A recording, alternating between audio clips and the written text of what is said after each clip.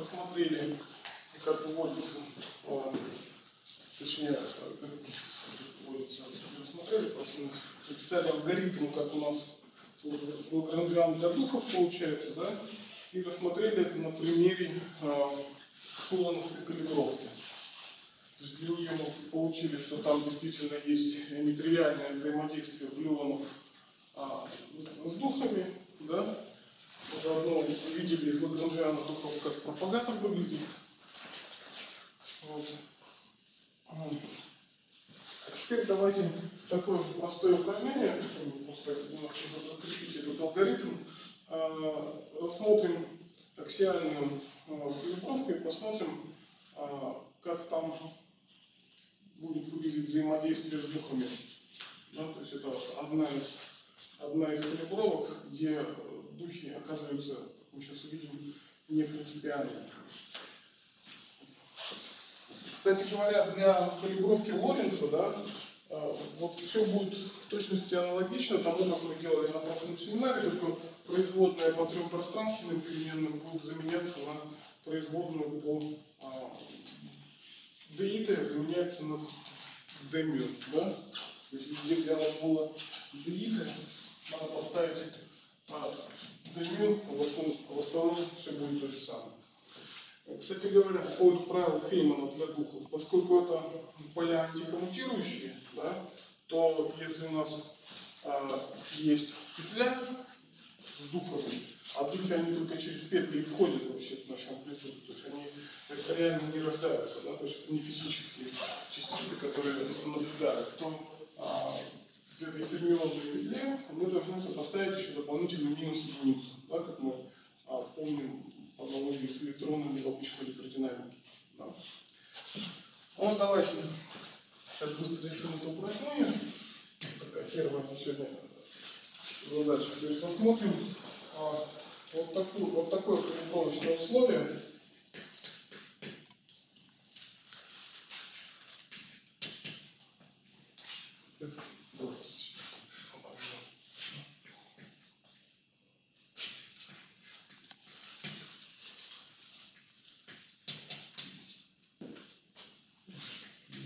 да? То есть мы выбрали некий вектор n, ну, это для простоты этот вектор пусть а, пока что будет вот такой.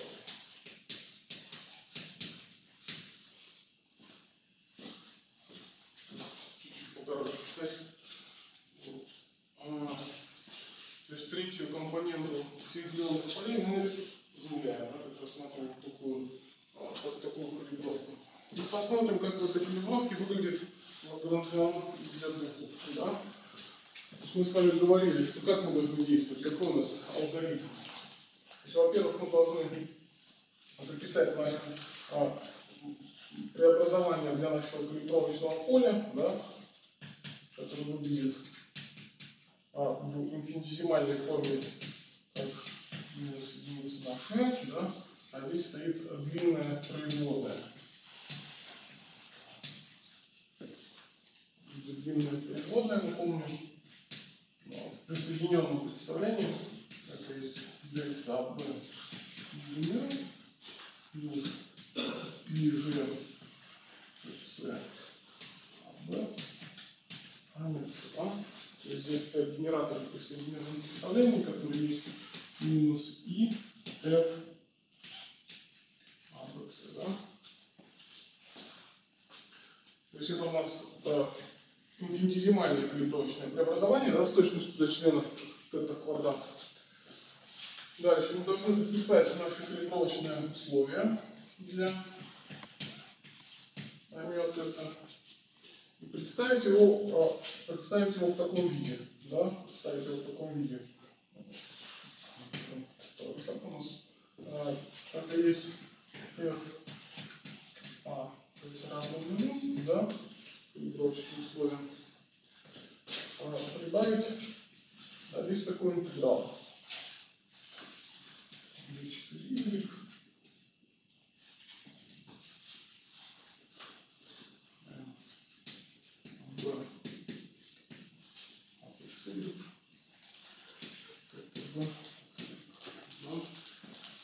Вот в таком виде представить.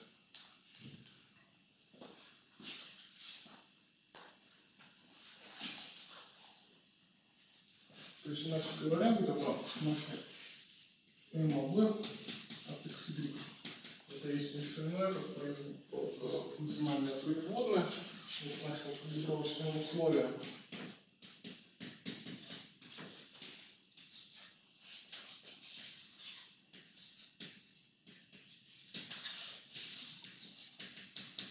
Наши калибровочные условия по калибровочным параметрам примерно равны нулю. Да?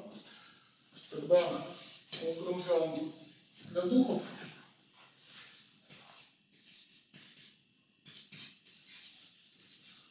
записывается следующим образом. Я пишу выражение для духового действия, из которого мы потом извлекаем Лагранжан. Да? Это есть d4x, d4y, c крест от x, а, m, а, b, x, y, c, b, y. Да? Ну, Вот в таком виде.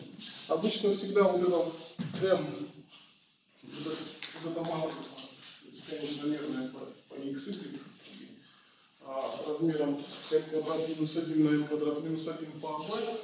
А, Обычно эта матрица в себе содержит дельта-функцию всегда, поэтому здесь одно интегрирование а, ну, можно снять, да, и получить явно выражение для а, духов. Для Лагранжана духов. Если у Лагранжана духов мы сразу видим, как у нас выглядит пропагатор и как выглядит вершина, связывающая а, духи с, м, с глионами. Да? Вершина, связывающая духи с глионами. Вот так. Детерминант этой матрицы, как вы, наверное, с лекции, с лекции знаете, это называется а, детерминант Фадеева Попова. Вот, с ним вот этот анзас Фадеева Попова, который у нас при квантовании а, в КХД происходит, да? Который мы должны делать при квантовании в КХД, чтобы выделить а, бесконечно мерную меру, отвечающую а, калибровочным эквивалентным а, физическим конфигурациям поля. А, ладно, у нас есть некий алгоритм, вот давайте по этому алгоритму а, будем действовать. Давайте, в прошлый раз это я написал, сейчас кто-нибудь из вас напишет, Николай давайте.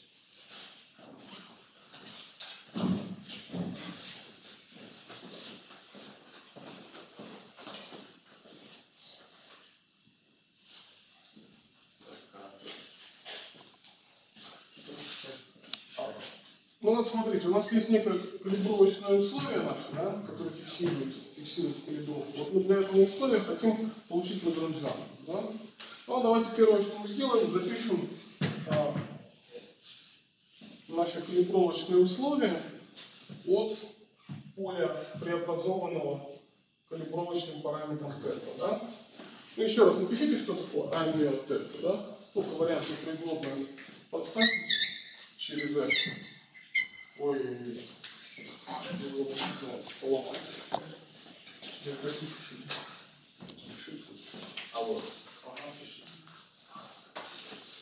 так.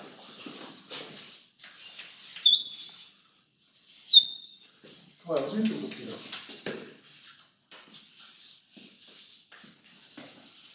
М, Минус. Угу. И Минус. подставляем что здесь. Просто явно не представляем, да? У нас еще где торчит индекс А, да? Я вот здесь не написал, не не хватило места здесь.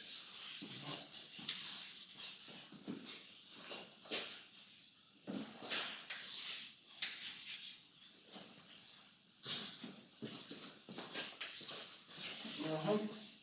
Дымил от чего? Вот здесь вот дымил стоит от Терминат. Это да. ТПП. Угу. Так, и здесь это равно вот минус. Минус уже сократится, да, останется F. Ага.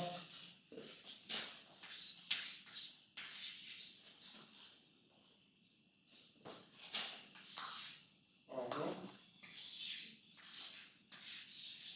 И ТПП, да? Хорошо. Теперь пишем вот это наши калибровочные условия. То есть фактически подставляем в это выражение, в этом повод вектора подставляем омет это.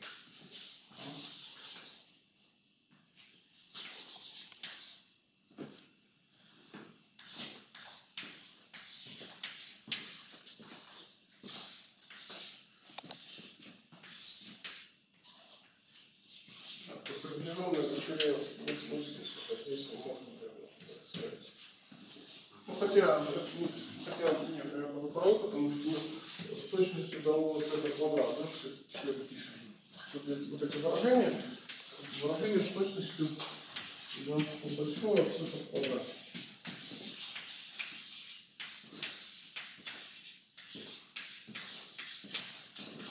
А, ну, пишите явно, это что такое? Вот это f, это что такое? Это умножение на вектор Да, ребят. n да? М, Ага. Наверху. Мгм. Хорошо. Ну, Это вот в таком виде, да? В таком виде. Первое слагаемое, вот это первое, это в точности здесь наши корректировочные условия, что это равно нулю, да? То есть вот это, это есть, это есть FA, а это равно нулю, да? Угу. А вот это выражение, здесь у нас везде переменная x идет, да? То есть это понятно, это зависит. X, от X. Что же X пишу? X.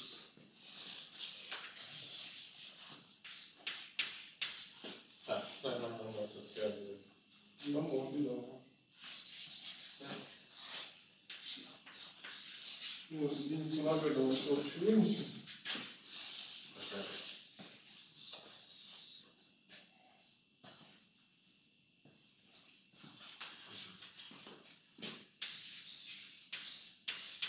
Плюс один. Ага.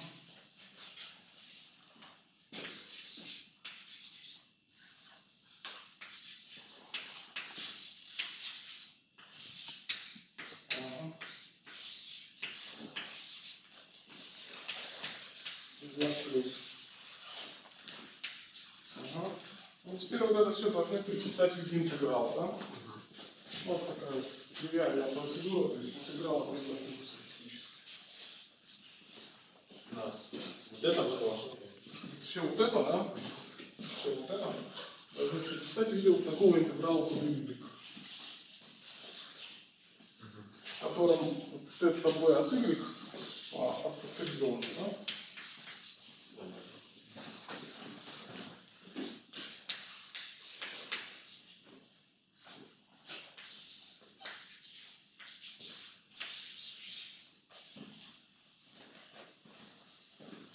Ну тогда уж давайте со знаком минус единицы на g, чтобы сразу писать, что такое m. Минус единицы на g, значит, пишите. Мгм. Так, потом у нас. Ну, просто вставляем дельта-функцию. Да? Дельта от x минус y.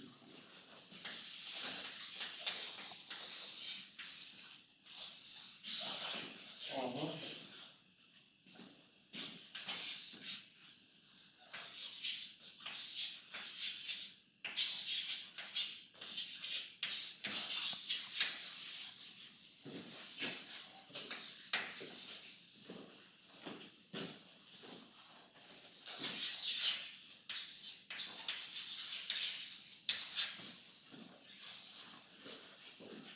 Все-таки вот здесь пока аккуратно, вот здесь переменная пока что x еще не надо. Да? Потому что дифференцирование по x, дифференцирование А, по y, оно может по знакам отличаться, да?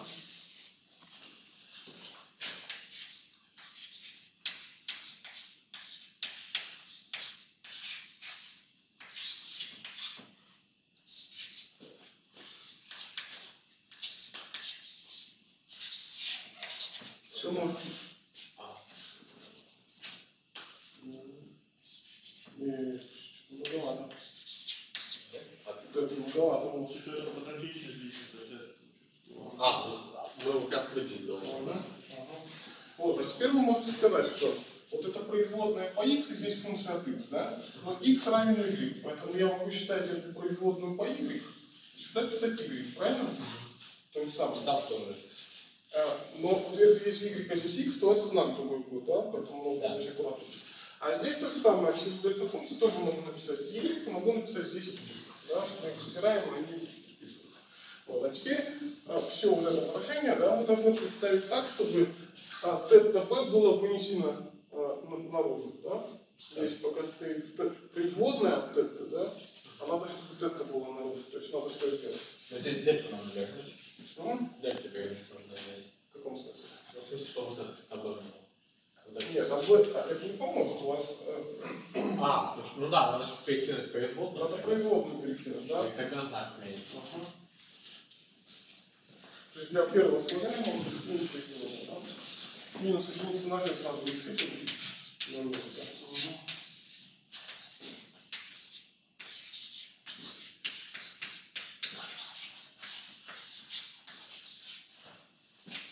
нет, да. Мгм. Так, ну, погодите, погодите, не-. Вы вот эту гальвафункцию вы ее вовнутрь. А, вот как это сделать. Давайте мы ее вовнутрь запихаем, да? И для, для первого слагаемого мы вот по частям проинтегрируем. Последовательно. То есть первое слагаемое, второе слагаемое.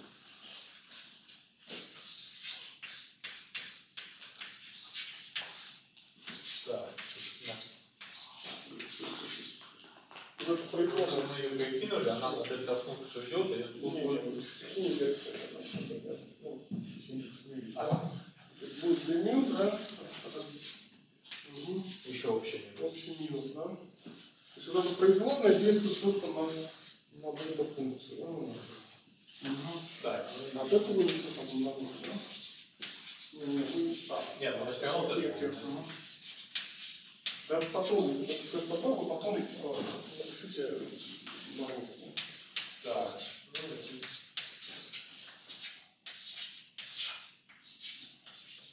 Да, здесь все. Мгм.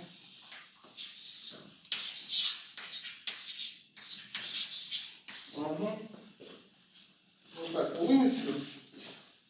То есть фактически то, что стоит в квадратных скобках вместе с длиной. А, тут еще я еще дельту забыл. Где? Какую дельту? Нет, ну в смысле вот это сюда. какую дельту? А, дельта функция? Да. Функцию должны быть.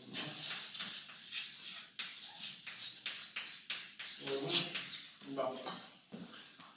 Правильно. Вот. Все, что стоит в квадратных скобках, есть множество минус единицы на g, это наше m, да? Поэтому пишем, чему равен а, равно действие для духов. То есть вот это положение.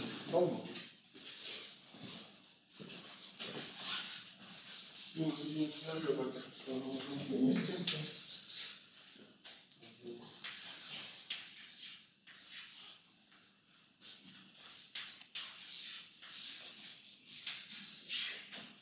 Мгм.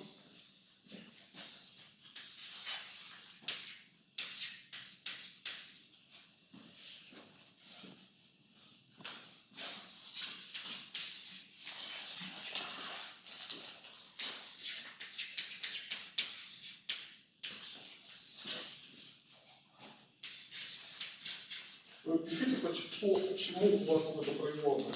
По какой переменной? По Y, да? По Y.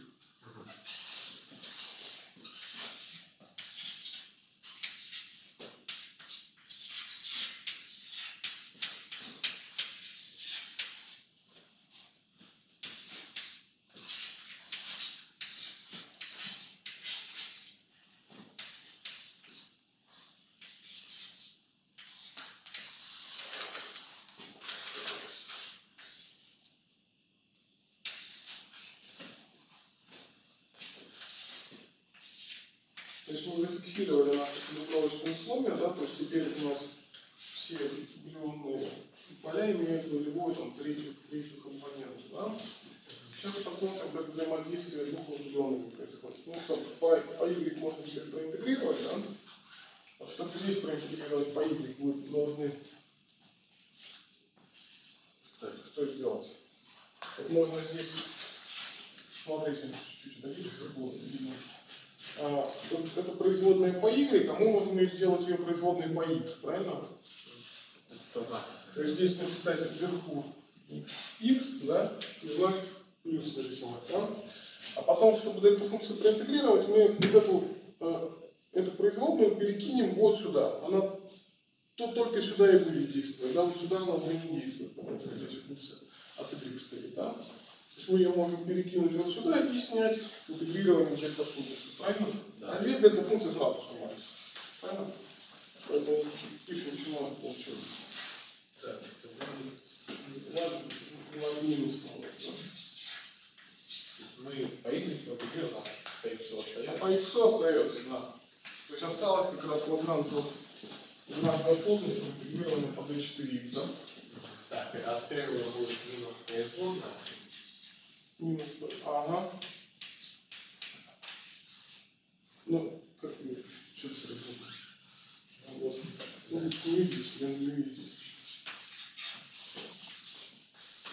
Дай мне. Ага. Ага. Так, а здесь просто это.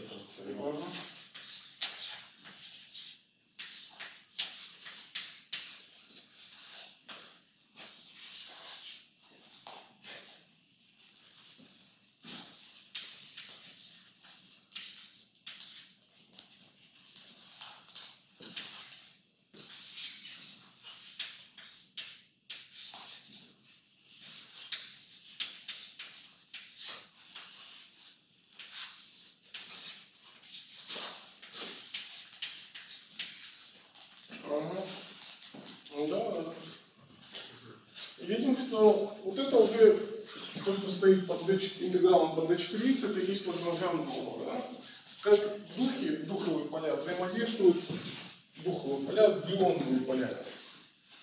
Вот, подчеркнутых членов, да? Как они взаимодействуют? Они фактически в вершине будет стоять э, как раз свертка нашего глионного поля с, э, с вектором mu, правильно? Что это значит? Как- что это за взаимодействие? Если мы уже зафиксировали нашу калибровку, да, то есть уже рассматриваем только калибровочные поля и глионы а, какие, то что мы можем сказать?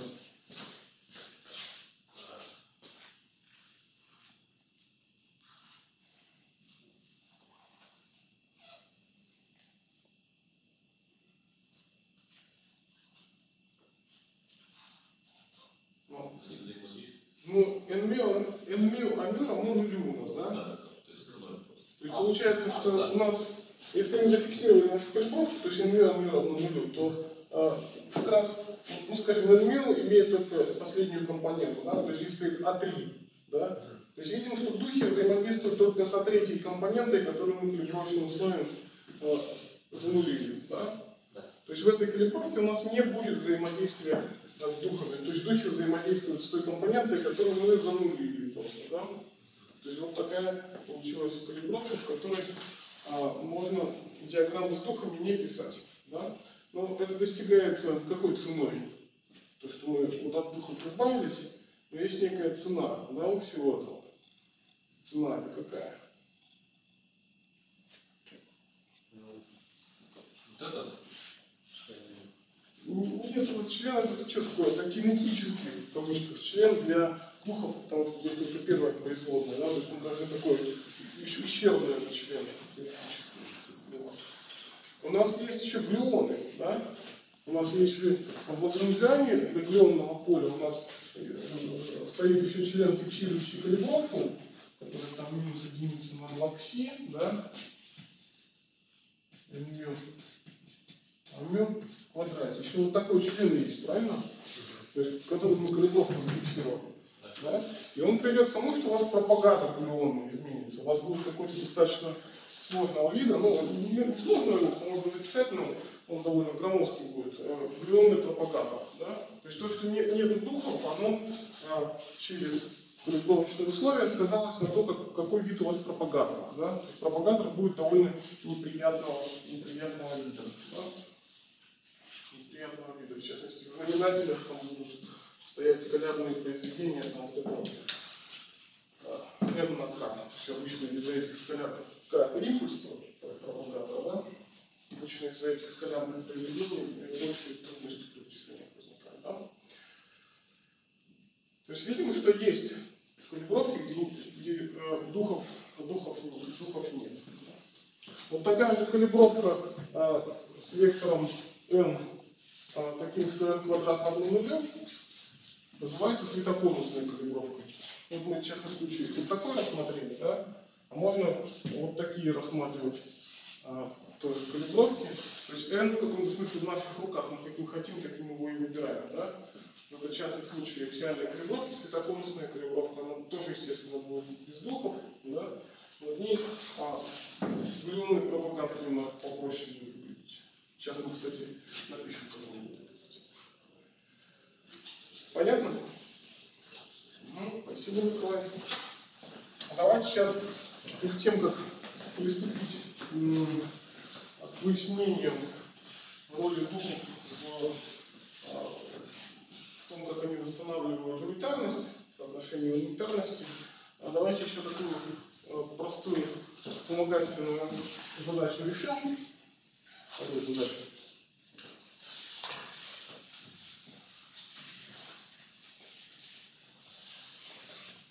А, Давайте рассмотрим а, физические а, глюонные состояния. Глюоны это безмассовые частицы, а так же как, фотоны поперечные, у них есть два физических состояния да, поперечной, поперечной плоскости.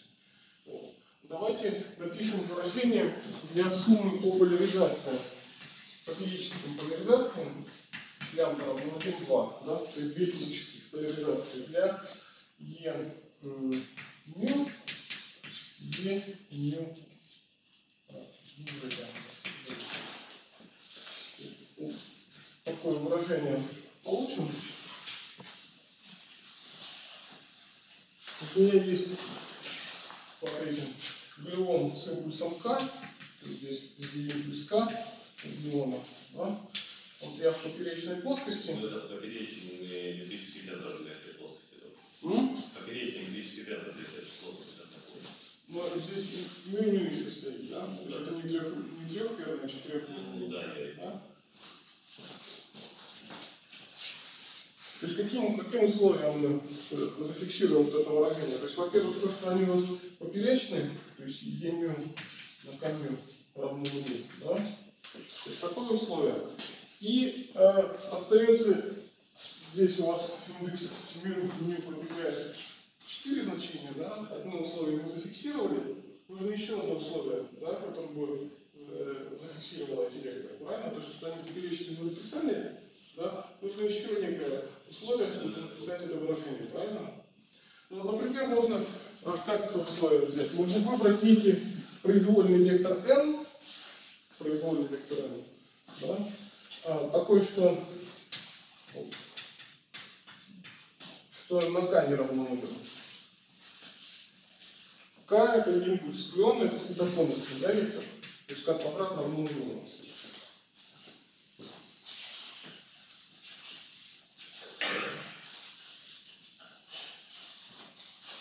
Это вторая задача. Нет, быть, снова по физическим поляризациям.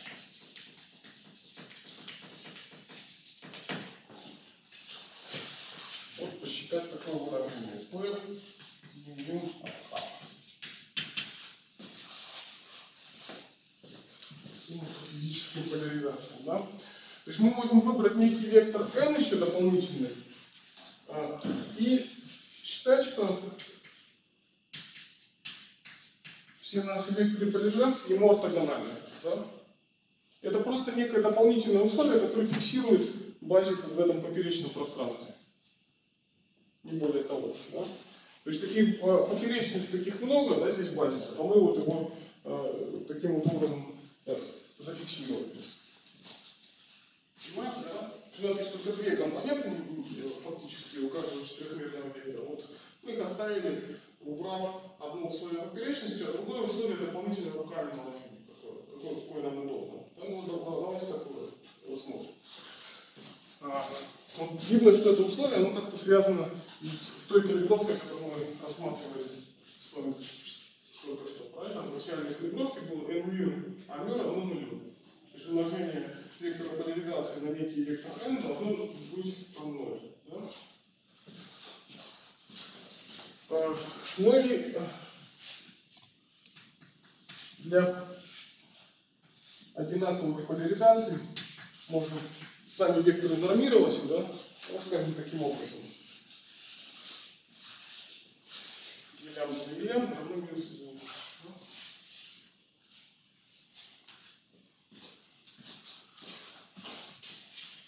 Ну, то есть простейший пример, если у вас вот эта ось, это третья ось, да, третья ось, это первая. И вторая ось, то можно было в качестве е лямбда единице взять 0, 0, 0, 1, да,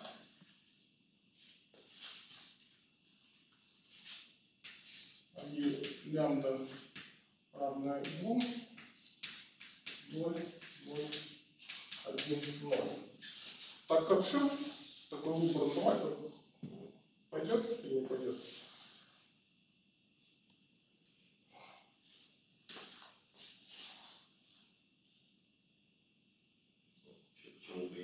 И? Подождите, а куда направлен? К направлен по Z. То есть К, К это есть что такое? Это есть 1, 0, 0, 1. А, Ну, плохо да, написал, да, последний делать, да? да. То Здесь вот нужно написать 0, а здесь вот единичку. Да? Вот так вот. Правильно? Так нормально будет? Нормально, да? То есть вектор К не ортогональный получается. Вектор К не ортогональный. Э, В квадрате они равны минус единице, да? Ну, это просто вопрос их нормировки. Верно? А вектор? А вектор n у нас какой в таком случае? Ну, может быть, например, чисто временных. Чисто временной. 1, 0, 0, 0. Да? То есть вот такой вектор. n на k не равно нулю, да? то есть это условие соблюдено. То есть вот я выбрал э, как пример некую физическую поляризацию, и вот для нее предъявил такой у нас есть. Возьмем другой n, немножко по-другому будет выглядеть вот эти э, векторы E1, E2. Да? То нам нужна сейчас э, сумма по, по этим векторам. Мы увидим, что она вот записывается ковариантным образом через электрический тензор и n μ. Да? Какие у нас возможности есть? А, Что мы можем написать в правой части? Если мы ввели только один э, посторонний вектор с четырехвектора m, то что здесь может быть? Может быть g меню, да? Напишем его с единичным коэффициентом, предполагая вот эту нормировку. Потом просто проверим, что нормировка это выполнена. Плюс. Плюс что? Э, в смысле, комбинация с ценами. Вот. Ценами из К, да? То есть можно написать какую-нибудь комбинацию, например, альфа на камю камю, такую комбинацию, да? Симметричную выполнение, да? Плюс бета, комбинацию, скажем, мю камю плюс мю камю, симметричное выполнение, да? А, что еще можно писать? Плюс гамма на алюминиум. Плюс гамма алюминиум. Что это такое?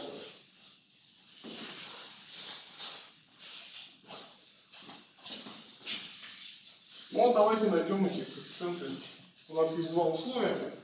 Одно то, что у нас поперечный, а потом второе, это то, что у нас есть некий выделенный вектор n, который мы не ортогональный. Давайте коэффициенты найдем. Сергей, давайте. Должно все на камню. Вот, у нас получается, тогда с этой стороны у нас получится минус поедет.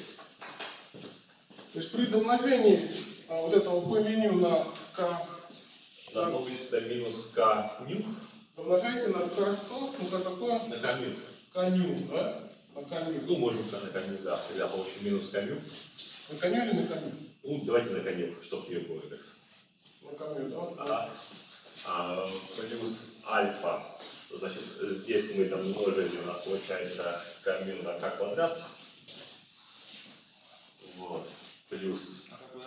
Ну, как квадрат? Да, он, ну, Ну, можем Ну, ладно. да. Ну, согласно вот этому. Дальше. Плюс бета. Как квадрат нас равен нулю, да? Потому что мы считаем, что это на массовой поверхности.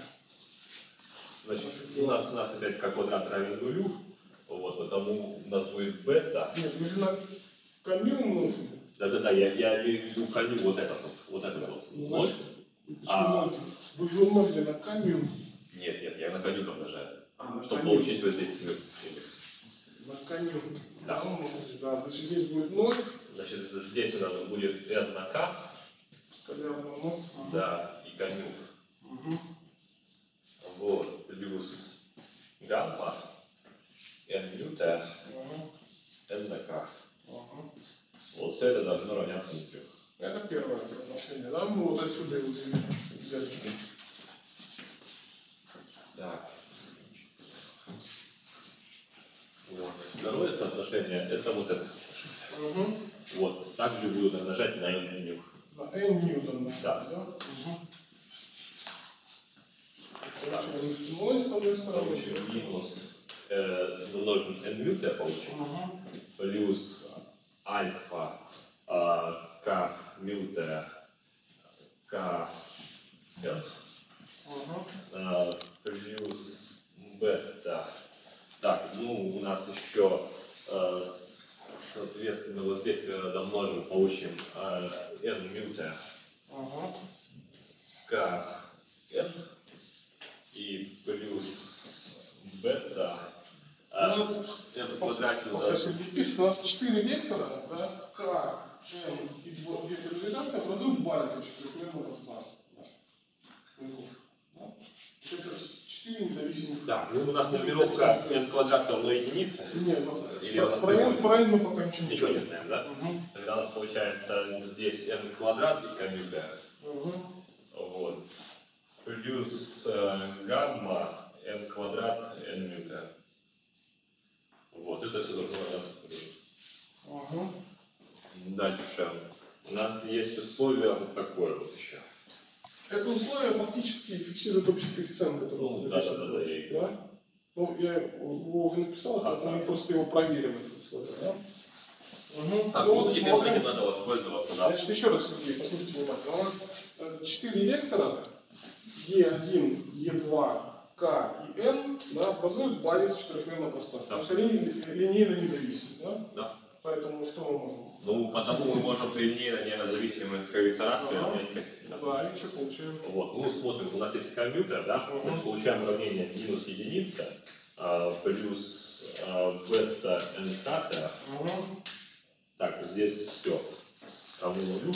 Да, есть такое уравнение. Значит, здесь гамма, получается, должно быть равно нулю. Да, гамма равно нулю. Гамма равно нулю. Дальше здесь смотрим, у нас какие Обращаем внимание, что гамма равно нулю получилось, потому что мы как квадрат равны нулю полагаем, да? Значит, есть как квадрат единица, здесь плюс бета на nk. Ага. По-моему, сейчас то же самое что уже получали. То же самое. Плюс, ну да, то же самое. Что гамма на основе. Плюс гамма на x квадрат равно нулю. Это мы можем, в принципе, вычеркнуть, получим то же самое уравнение. Вот, теперь с камню альфа, так, k, n, а, плюс бета, n квадрат, равняется Ага. вот, ну, то есть получили два таких уравнения уравнения. Альфа и бета. Бета можно вылезть. Ага. Вот. То есть у нас получается, что бета равно э, единица поделить на nk, единица поделить на nk, и отсюда выгружаем альфа. То есть это у нас получается э, альфа равно, э, значит, равно минус бета n квадрат на kn.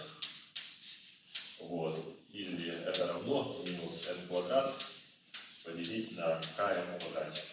Ага. Да. Тогда каким образом записывается наше соотношение?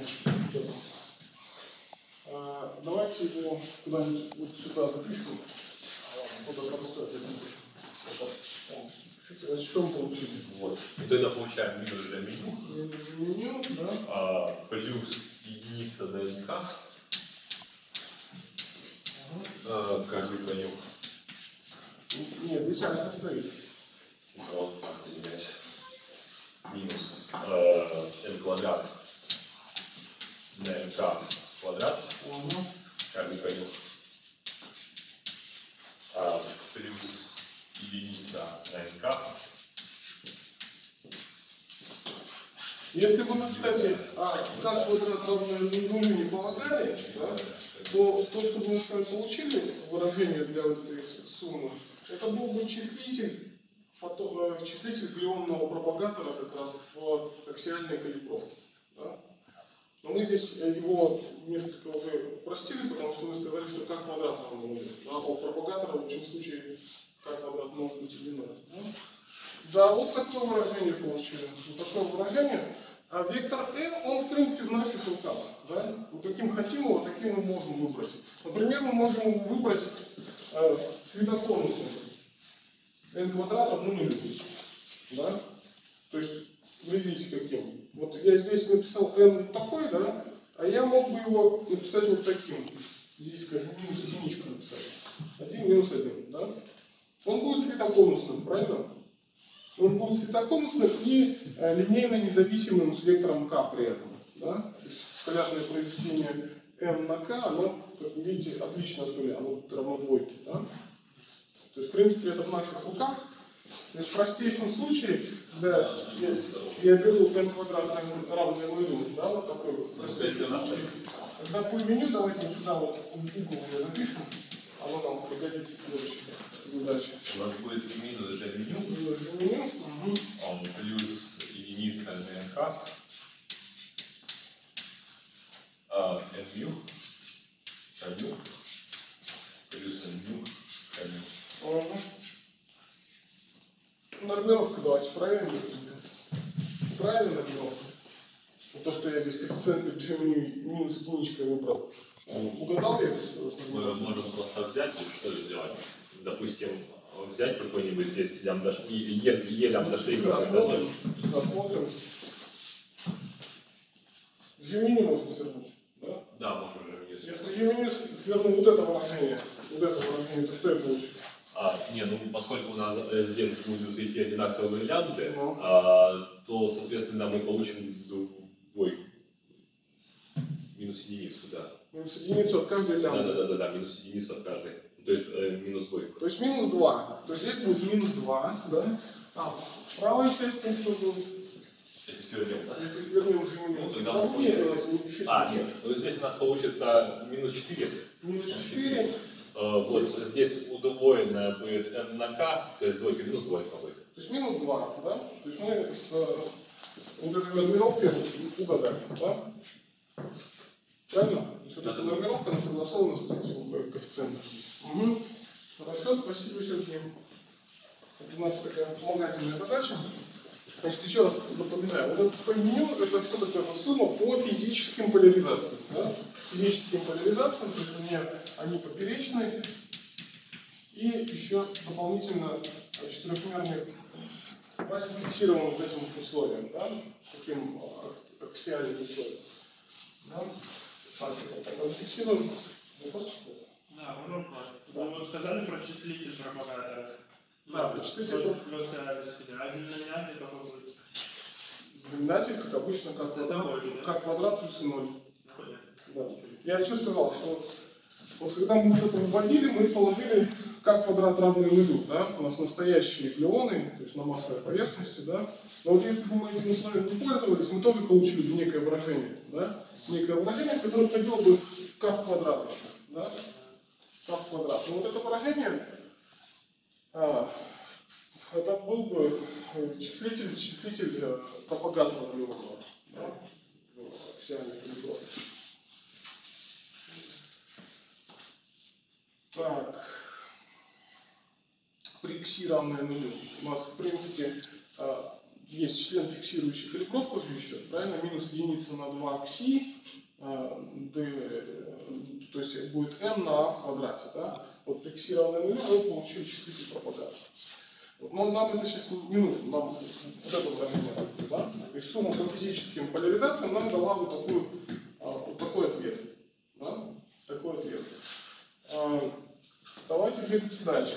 Третья задача, понял, но такая большая будет.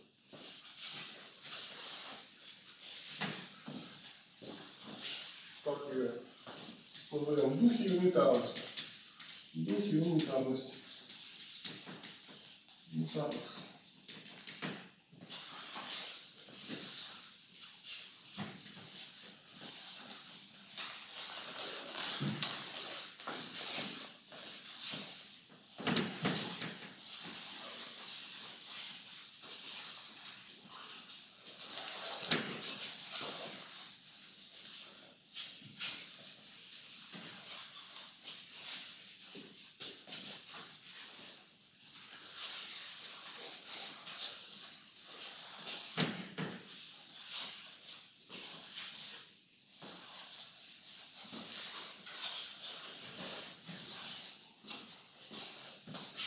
А, В этой задаче мы с вами а, продемонстрируем ту роль, которую играют а, петли с духами. да? То есть квинтэссенция такая, что а, духовые степени свободы, они в амплитуде должны сократить нефизические степени свободы для глюонов. То есть у нас есть, кроме физических поляризаций, по которым мы там просуммировали, есть еще две нефизические поляризации для глюонов. Да? Вот духовые степени свободы, все эти нефизические поляризации должны будут э, сокращать и восстанавливать э, соотношение унитарности. Вот в каком смысле восстанавливать. Давайте э, маленькое напоминание про соотношение унитарности сделаем. Соотношение унитарности. Соотношение унитарности. Унитарности. У нас есть S-матрица, да, S-оператор которую мы обычно представляем в виде единичного оператора, плюс и на m, да, и m стоит там э, дельта-функция четырехмерная, да, какие-то нормировочные множители из нормировки волновых функций и так далее. Давайте все это запишем в оператор t. Оператор t. Вот матричный элемент от t будет давать то, что мы как раз называли раньше MFI, да, на что у нас пишутся правила, правила Феймана, EMFI, EMFI, а, с точностью до 2 в 4 дельта-функция и а, произведение корней от энергии, да, корень из 2 и и по начальным и корень 2 и f по а, конечным частицам, да. Вот. А, у нас есть такое соотношение на S-матрицу, которое мы требуем, чтобы она у нас была S-матрица унитарная, да, то есть такой S-крест на S был равен единице. У нас эволюция, да, которая обеспечивает S-матрицу, она а, сохраняла фактически вероятность. Правильно? То есть если мы вероятностную интерпретацию придаем в нашей эволюционной картине, то S-оператор должен быть унитарным. Да? То есть вот такое соотношение. С одной стороны, с другой стороны, это что такое? Это есть 1 минус и t крест, да? 1 плюс и t. Верно? Только подставил сюда. Вот открываю скобки. Вот единица. Минус и t крест. Минус и t крест. Плюс и t. Плюс t крест t. t крест. И это должно быть равно единице, правильно? Поэтому мы получили отсюда некую нелинейную связь на t, на оператор t. Да, фактически на наши матричные элементы. Я напоминаю, что когда мы будем брать матричные элементы от S-матрицы, матричные элементы от t будут переходить в наши матричные элементы, которые мы правилам Фемина вычисляем. Да? А, что мы получили? Единичка у нас сокращается, да? Переношу всю левую часть, получается, что t минус t крест равно и еще умножил и t крест t. t крест t. Ладно, да? Теперь, если от этого соотношения операторного беру матричный элемент, конечное состояние, начальное состояние, да, то э, t у меня перейдет в то, что мы называли амплитудой m. Да? После того, как я выделю 2 в 4 дельта-функцию и все нормировочные множители, это будет mfi. Да? mfi. Что такое t-крест? У меня стоит t-крест fi. Да? fi. Это то же самое, что И, П, F комплексно сопряженным, правильно? А, а это мне даст матричный элемент, у которого начальное с помененной с конечным состоянием, да? То есть это будет минус n и f, и f, и комплексно сопряжущихся должен, да? Комплексно сопряжущих. Когда от... э, я напоминаю, что я беру матричные элементы по физическим состояниям. Мои асимптотические состояния да, для S-матрицы это физические состояния. То есть здесь никаких духов нет. Да, здесь бывают только глионы и настоящие глионы. Поперечные, поперечные глионы с двумя степенями свободы. Да? Ну и кварки, соответственно, тоже. От конфаймента, я, вопрос конфаймента я пока сейчас отвлекаюсь. а, потому что мы асимптотические кварки не наблюдаем, да, наблюдаем огромный только.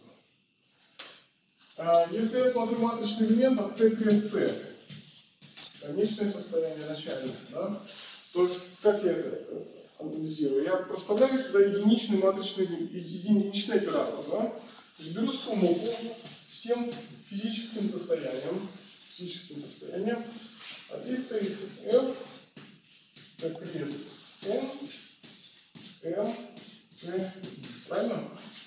Ну так.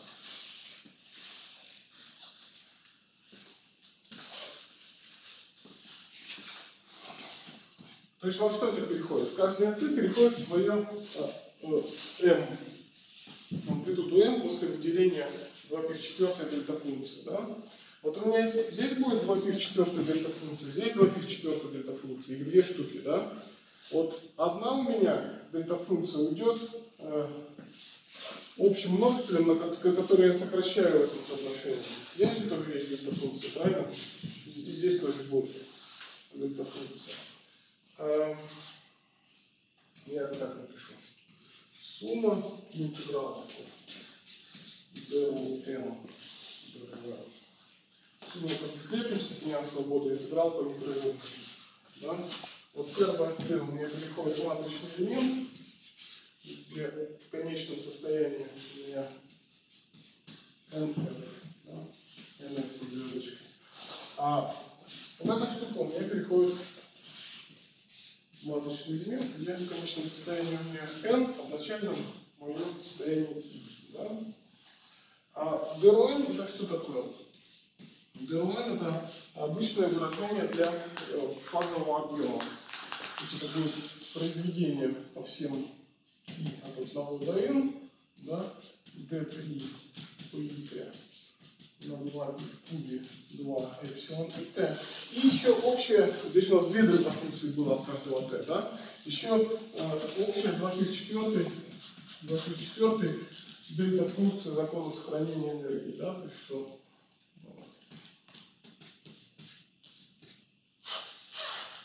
m, минус bm, да? bm это э, суммарный четырех импульс от всех, всех частиц. Вот. Получили такое выражение. Да? В это выражение уже входят наши стандартные амплитуды m, на которые мы пишем правило Феймана. Да? Правило Феймана. Из этого выражения мы обычно получаем и оптическую теорему тоже. Да? Если мы возьмем состояние I такое же, как состояние F, то есть с теми же импульсами, с теми же поляризациями, да, то что мы получим? Что а, здесь будет амплитуда рассеяния вперед и равно f, это рассеяние вперед называется, да? То есть начальное состояние такое же, как конечное. Минус сопряженная величина. Это удвоенная мнимая часть, правильно? Мы получили, что а, удвоенная мнимая часть с буквой И, на которую я сокращу. Амплитуда И, да? Начальное состояние такое же, как конечное.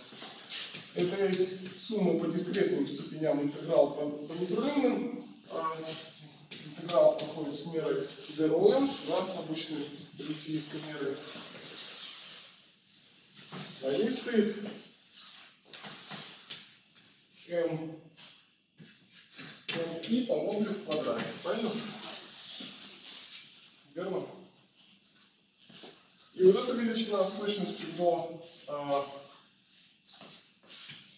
потокового множителя, это есть интеграл от полного, полного сечения, правильно? Полного сечения. Полного сечения. То есть у нас удвоенная мнимая часть амплитуды вперед, она связана с полным сечением. Да, это мы называли э, оптической теоремой.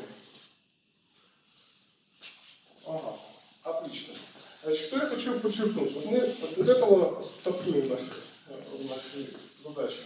Вот здесь вот все состояния, которые мы смотрели, вот И состояние, N, это все физические состояния. То есть это все поперечные глионы, кварки, да, без всяких а, временных проблемных глионов и духов. То есть это физические состояния. То есть все состояния не физические. То есть мы требуем, чтобы наша S-матрица да, была унитарна в физическом пространстве. На нефизических состояниях, где у меня глионы и духи, не обязательно этого требовать. Но на наблюдаемых состояниях она должна быть унитарна. Да? Это наше требование. А вот давайте мы с вами продемонстрируем то, что вот это соотношение для конкретной амплитуды выполнено. То есть некое общее такое соотношение, что оно выполнено. И в процессе этой демонстрации мы увидим, какова роль духов. То есть у меня в амплитуду будут входить духи, и мы посмотрим, э, как они, э, как они сокращают э, нефизические степени свободы. Вот это наша э, главная на сегодня задача. Для этого давайте рассмотрим амплитуду растения кварка на меня есть амплитуда растения кварка на антикварке, амплитуда растения вперед. Да? Начальное состояние такое же, как конечное состояние. Вот. Мы рассмотрим э, в четвертом порядке теории возмущения. Четвертом порядке теории возмущения просто потому, что э, в предыдущих порядках, в Борновском порядке, там, в третьем порядке у вас мнимых частей не будет. У вас мнимая часть не появится, демонстрировать особо будет нечего. В четвертом порядке как это выглядит? Вот смотрите. Мы пишем, как выглядит амплитуда растения кварка на антикварке. Здесь P1, P2, здесь тот же самый P1 и тот же самый P2. Вот это есть.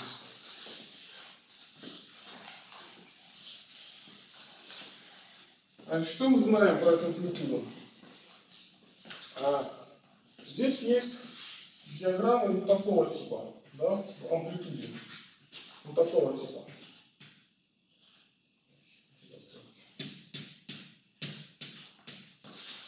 Такого типа перекрещенная диаграмма, да? Такая.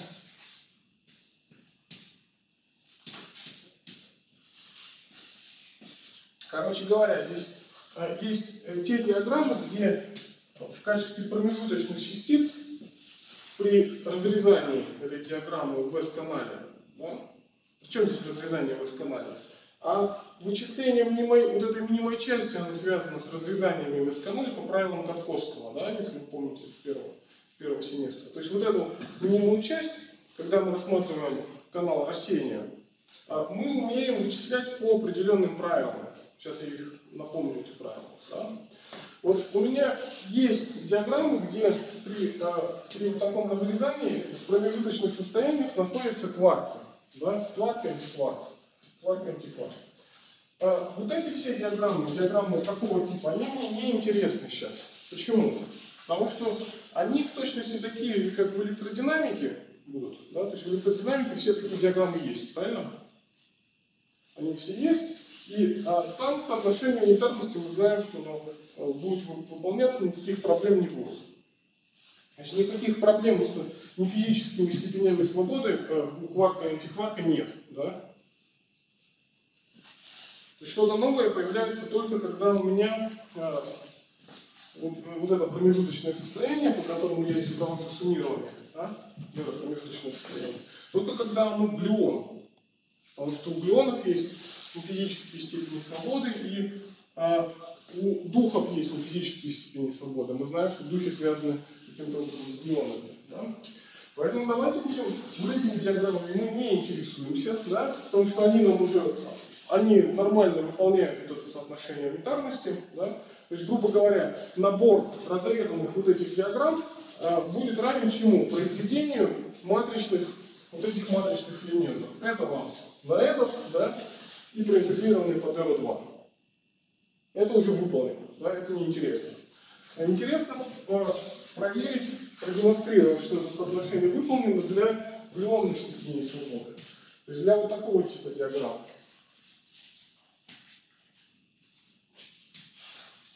Вот То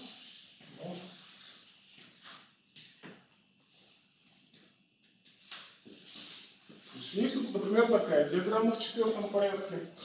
А, при вычислении мнимой части, при вычислении мнимой части вы ее разрезаете по вот этим промежуточным состояниям, у вас в промежуточном состоянии два глиона, правильно? Два глиона. И вовсе не очевидно, что, а, что вы здесь режете глионы, которые могут быть и физические, и не физические в пропагаторе, правильно? А в правой части вы суммируете только по физическим глионам. Вот это n, да, это что такое? Это вот эта амплитуда, половинка, возведенная в квадрат. Да? И вовсе не очевидно, что, э, э, что вот этих физических степеней свободы хватит для разрезанных физических и нефизических. Правильно? То есть нетривиальный момент вот в этом состоит. Какие здесь диаграммы есть? Первая диаграмма я ее обозначу. Дальше есть такая пере- переключенная диаграмма. Здесь так, а здесь так.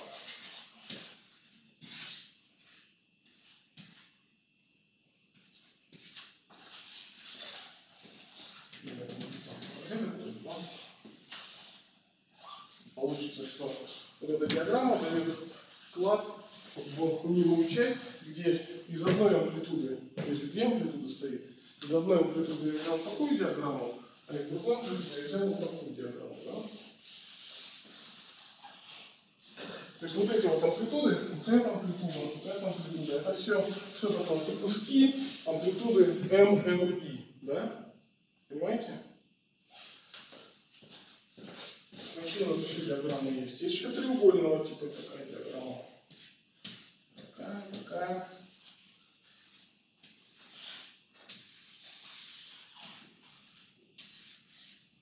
Нет, это кварком склад.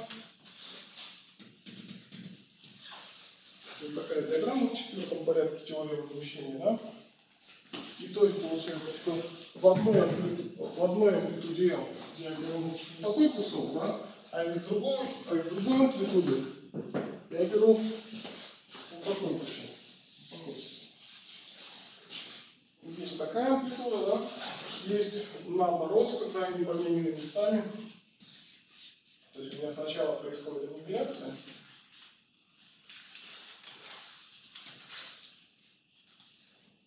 а потом уже в конечном состоянии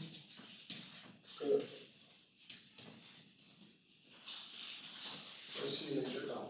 Когда я пишу вот эту пунктирную линию, я подразумеваю, что я вычисляю по этим амплитудам, вычисляю вот эту мнимую часть, да, по правилам Катковского. Правило Катковского мне что говорит? Я должен написать всю, все мои амплитуды да, и разрезать всевозможными способами их в S-канале.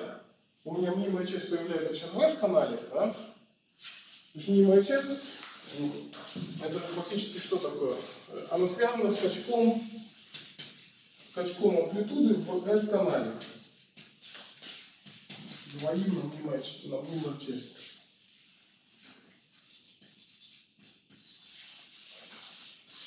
То есть скачок амплитуды в S-канале мне будет давать удвоенную мнимую часть, то есть то, что мне надо найти, да? А скачки я вычисляю по правилам Катковского, то есть рисую все амплитуды и разрезаю их всевозможными способами, э, чтобы у меня разрез шел по S-каналу, да? По S-каналу. Вот эта диаграмма будет отвечать соотношению унитарности чему? Что из, из одной M я взял такого регуляционного типа диаграммы, а из сопряженного M взял вот исходную такую диаграмму. Да? Вот. А что еще есть нетривиального в четвертом порядке с участием глионов и зубов? Есть еще какая диаграмма есть? Есть такая.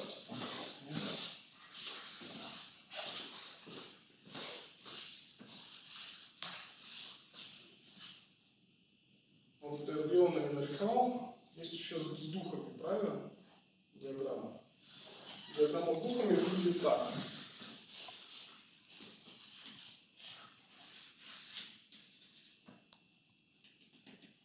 Во-первых, я с глионами еще не все нарисовал. С глионами еще вот, так, вот такого типа диаграммы. Вот. Так, этих фар проаннигилировали.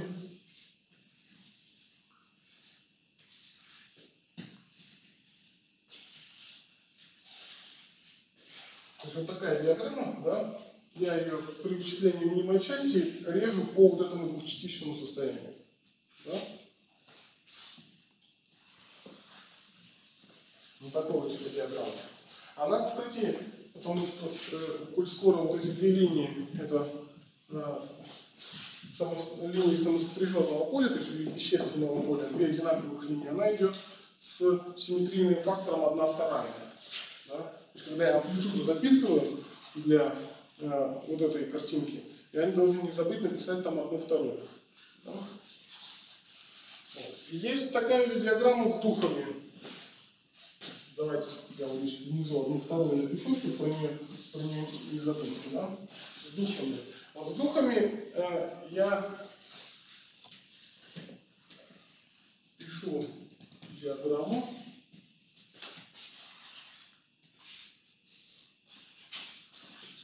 Вот диаграмму. И помню, что э, духовая петля у меня входит со знаком минус, правильно, в амплитуду? То есть вот этот знак минус я могу сразу вот сюда вот написать, чтобы не забыть. Все равно картинки не складываю никогда, складываю куски амплитуд, да?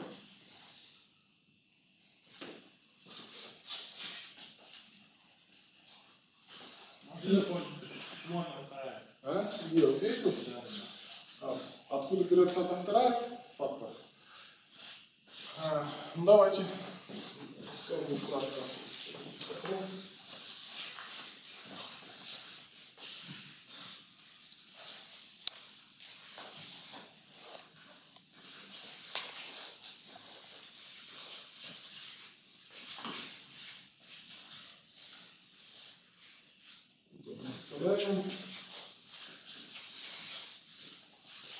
Фактически, э, чтобы это вывести, вы должны, как вы делали на четвертом курсе, да, вы раскладываете S- э, S-матрицу да, до, соответствующего порядка теории возмущения и смотрите, сколько там разных спариваний возникает. Ну да, разных спариваний. Вот. А, вот то, что здесь одна вторая, это некие общие, э, это частный случай общего, общего фактора. Например, если у вас есть диаграмма там, вот такого типа, ну я в некой теории, скажем, лямбда фи в четвертой рисую, такого типа, то у вас здесь будет а, фактор а, симметрийный 1 на 3 факториал. Здесь фактор 1 на 2 факториала, да, 1 вторая, да? Если у вас три одинаковых самосопряженных линии будут, соединяют одну вершинку, будет фактор 1 на 3 факториал. Да?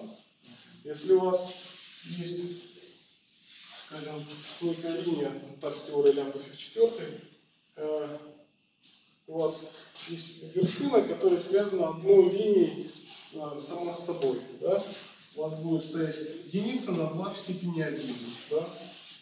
У вас одна линия соединяет вершину саму с собой.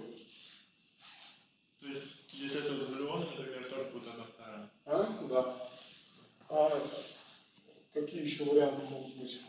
Сейчас, ну, например, такой вариант есть.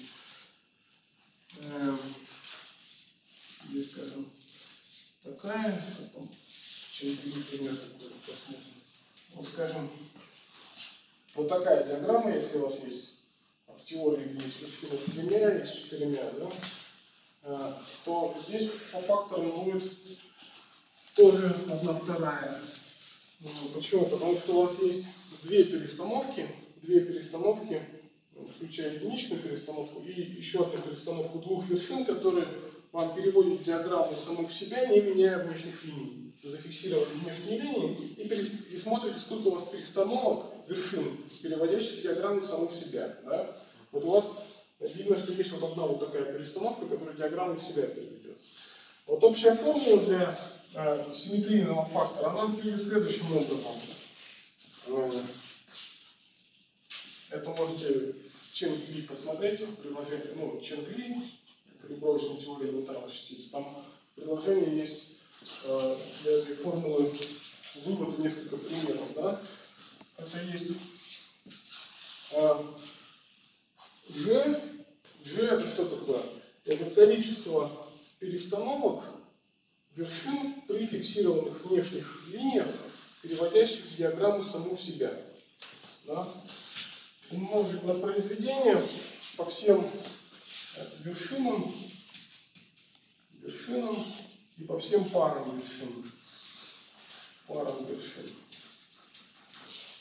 А произведение такого выражения 2 в степени вот бета n, где а, вот вы для каждой вершины, по которой это произведение, вы смотрите, сколько у вас линий соединяет эту вершину с, э, с, с ней же. Да? И вот это бета это число линий, которые соединяют вершину само с собой. По-русски говоря, ну, э, вершину э, с той же самой вершиной. Да? Вот здесь одна линия, вот здесь бета равно единице. Да? Поэтому будет фактор двойки. Также еще есть, м, так напишу, а, m факториал в степени альфа m. Вот если у вас есть пара вершин, вот здесь произведение по парам смотрите, да? Вот у вас есть пара вершин, да? Пара вершин, а, соединенных m штук самосопряженных линий, то есть одинаковых, одинаковых линий, без стрелок. Либо это вещественные скаляры, либо это глюоны, да, либо фотоны. А, То есть у вас есть а, а, одна пара, одна пара, соединяющая одна пара, для которой у вас есть три, ли, три самосопряженные линии. Да? Три самосопряженные линии. Вы должны написать 3 факториал, а здесь э, альфа это число таких пар. Альфа это число пар вершин, соединенных n самосопряженными линиями. Число пар вершин, вот для этой диаграммы здесь одна пара. То есть альфа равно единице, а m равно трем. Правильно? Потому что у вас три самосопряженные линии. А почему тогда это все в числителе, а это номинально? Потому что симметрийный фактор это единица на s. Единица на s. То есть вот такая общая комбинаторика, которая нужна только в ну, высоких порядках теории возмущения. Да, вы с ней раньше никогда поэтому не сталкивались, поскольку вы про высокие порядки нигде не говорили да, на курсе. Вот э, общее, общее выражение для симметрийного фактора, оно как-то так вот выглядит. Да? То есть G это перестановка вершин при фиксированных внешних линиях, да? количество таких перестановок, включая единичную. Да? Вот, например, вот здесь вот у вас есть единичная перестановка и вот такая перестановка, которую диаграмма в себя переводит. Да? Бета это связано с числом линий, соединяющих вершину с самой собой. Да?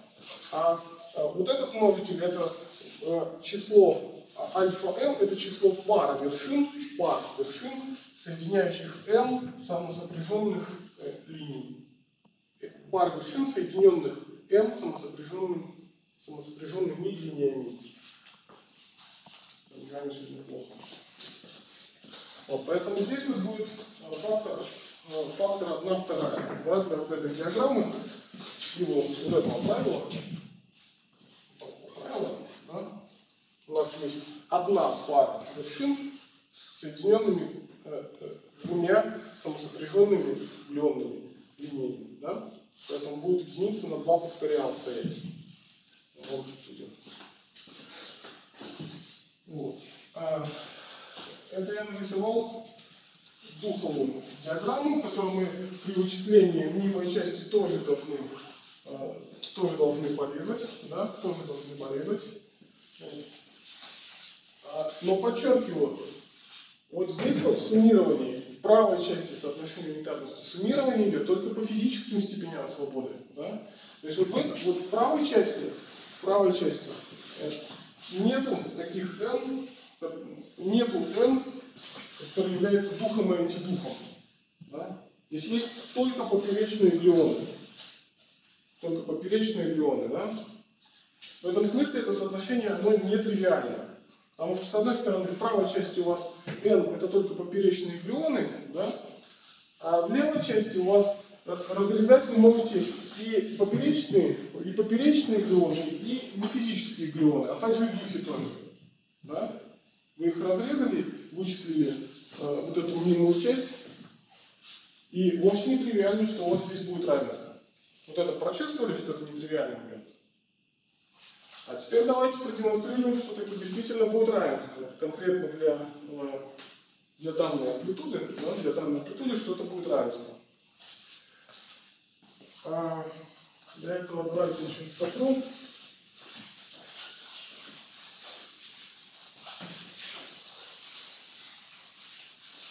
Значит, первое, что мы сейчас с вами делаем, первое, э, это смотрим на левую часть соотношения унитарности, которую мы хотим проверить. Да? На вот эту удвоенную мнимую часть. Смотрим на удвоенную мнимую часть. А, Мы ее э, будем вычислять по правилам. Вычисляем. Вычисляем по правилам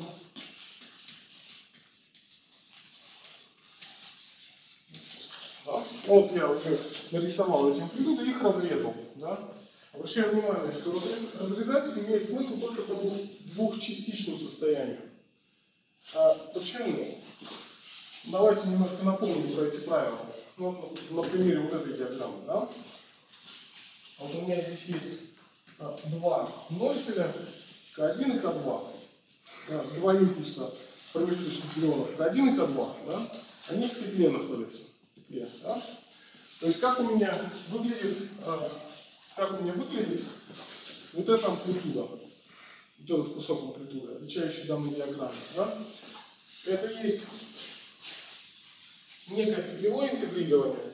Я его напишу как D4K1, D4K2 на 2 пи 4, 2 пи 4 и дельта-функцию напишу.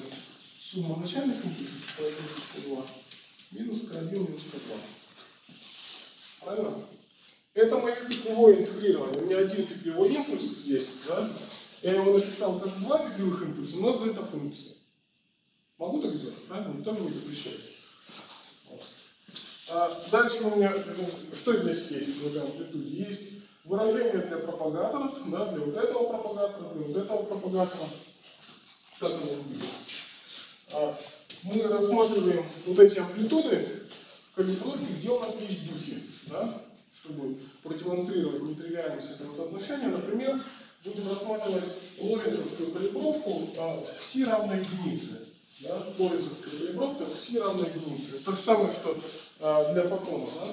То есть пропагатор у нас выглядит как G, верхний пропагатор будет выглядеть как G мю, мю штрих дельта АА штрих здесь на К1 квадрат плюс миной.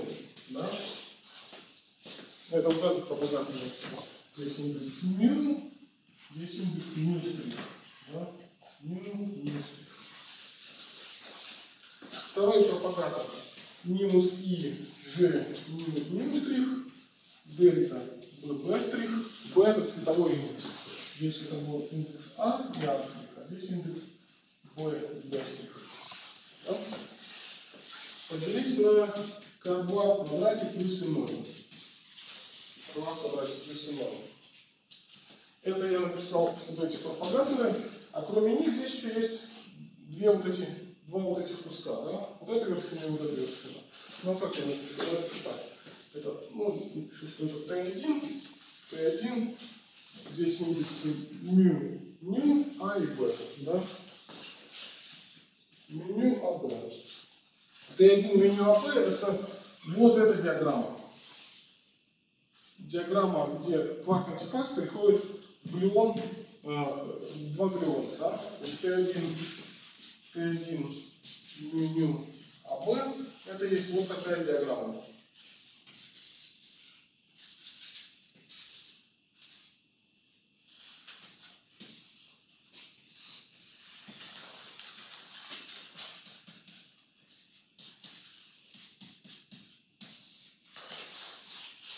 Понятно? Я ее просто не пишу, явно выражение, но все равно это сейчас будем делать. А, от второго блока, да, от второго блока тут точно такое же выражение. Т1, только мю штрих, ню штрих, а штрих, б штрих, правильно? А штрих, б штрих, б штрих. И вот эти индексы мю, мю и АБ, они через глионный пропагатор друг с другом, друг, друг с другом сворачиваются, правильно? То есть это вот я написал а, мою эту амплитуду.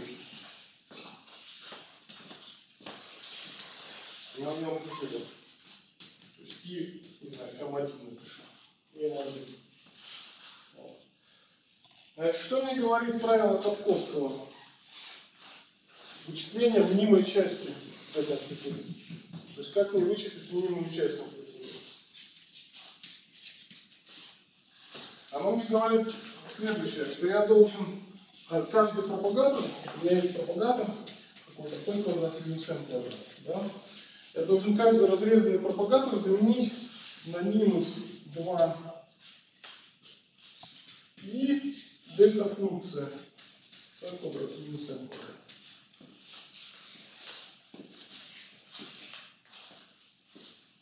То есть каждый разрезанный пропагатор, давайте, p квадрат минус n квадрат плюс 0. Я вот в таком виде представляю. То есть здесь при вычислении левой части я разрезал два пропагатора. Два, два пропагатора. Вот этот пропагатор и вот этот пропагатор. Да? Вот смотрим, куда он переходит. Все вот это куда перейдет. Если я единицу на k квадрат заменяю на минус 2π дельта функцию, да? То есть будет минус 2π на дельта функция от k1 в квадрате, правильно? Вот это все. Здесь, а, соответственно, то же самое. Это перейдет в мин, при вычислении минимальной части по правилам Костковского, это перейдет в минус 2π дельта функция от от k2 в квадрате. Верно? А, смотрите, 2π здесь, дельта функция от k1, и вот эта мера. Во что переходит?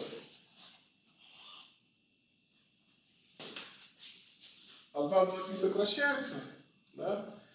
Дельта функцию можно, можно снять, правильно? Можно снять. И куда это перейдет? Что это будет? На что это будет похоже? Это будет инвариантная релятивистская мера, правильно? D3K1 на 2π в кубе на 2 энергии, верно? То есть фактически у меня при вычислении мнимой части, при вычислении мнимой части, э, что получится? Получится интеграл от R2, да? R2 это релятивистский фазовый объем, 2π в, четвер... 2π в кубе э, d3k ита, 2π в кубе на 2 эпсилон ита и 2π в четвертой дельта функция. Я, кстати, 2π в четвертой забыл, а вы мне не подсказали. Ну, я 2π в четвертой забыл. Здесь в петлевом интегрировании одно 2π в четвертой, а два. Да. То есть вся вот эта вот радость вместе с дельта функциями из правила Каткоского перейдет в инвариантный фазовый объем. Да? Инвариантный фазовый объем. Э, И все будет э, Т1 АБ меню. Здесь будет Т1 АБ меню со. То есть вклад вот этой диаграммы в минимальную часть будет даваться чем? Произведением двухчастичного фазового объема и двумя вот этими амплитудами, правильно? Такой амплитудой и сопряженной амплитудой. Согласны? Отлично. Отлично. Почему не надо разрезать? Правило Кокуского говорит, что вы всевозможными способами разрезаете вашу диаграмму. Но вот таким способом смысла разрезать нет. Да? Почему? Например, так бы разрезал. Ну, потому что это не будет входить. Ну, потому что я вот этот импульс помещу на массовую поверхность. Да? Когда говорю, что этот пропагатор заменился на дельта-функцию от k квадрат равно нулю, я поместил э- эту, эту штуку на массовую поверхность. Но вы знаете, что у нас же нет переходов финансовой поверхности двухкварк антикварка в глион. То есть такая амплитуда ну, по закону сохранения энергии запрещена. Да? То есть эта э, амплитуда не будет, э, ее просто в четвертой дельта-функция соответствующая, да? Которая в DRO1 стоит. Эта четвертая дельта-функция ее убьет. Ну, разрезать это всевозможными способами, но нетривиальных разрезаний останется только двухчастичные здесь, да? Правильно? Так, значит, я напомнил, как выглядит, э, как выглядит вычисление э, скачка, да? То есть вот это выражение я пишу для удвоенной мнимой части. Удвоенной мнимой части. Это выражение для скачка, правильно? Вот это правило вычисления скачка, то есть удвоенной мнимой части. А теперь вы мне сами подскажите, как будет выглядеть тогда удвоенная мнимая часть для всей вот этой амплитуды. Для всей этой амплитуды. Давайте я здесь собрал, но вы здесь сейчас выходите.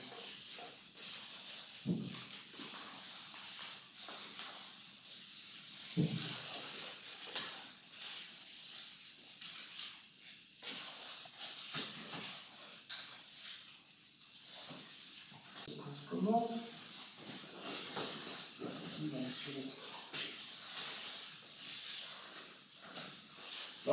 Введем вот такую амплитуду. Я ее здесь обозвал. Да? А,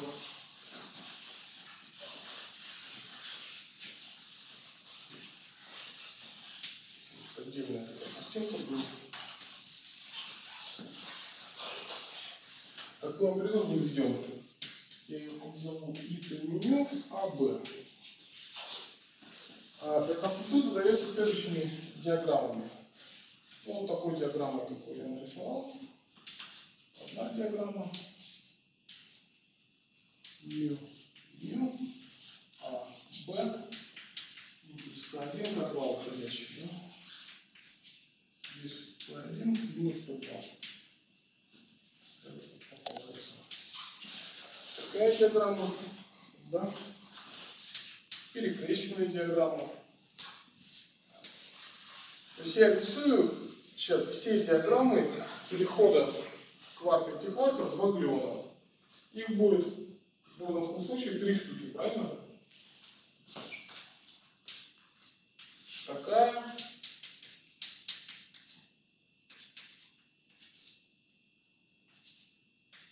И какая еще? Кварк антикварк в два глиона. Амплитуда. Ну, трехмиллионный решил. Есть еще аннигиляционного типа, правильно? Вот такая. Например, два антиквар перешли, перешли два глиона. Да? Глион здесь К1, здесь К2. Здесь течет К1 плюс К2.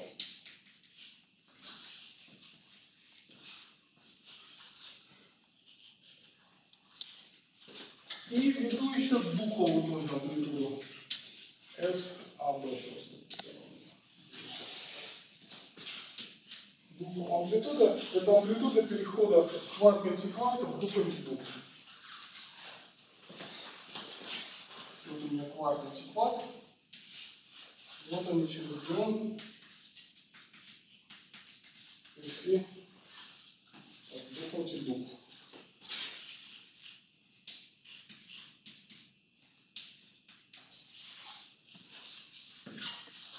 Духа только есть цветовой индекс, да, при соединенном представлении.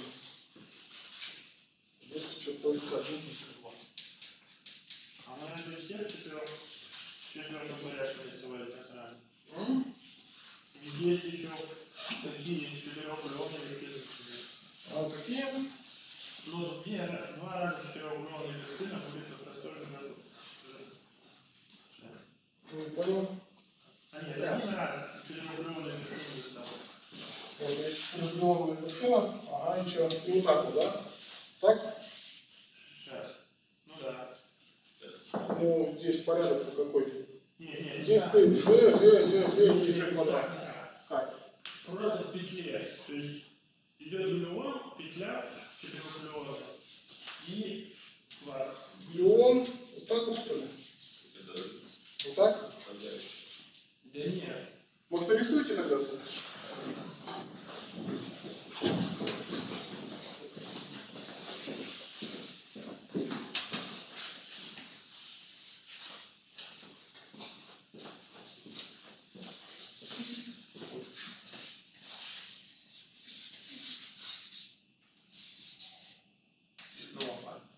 Угу.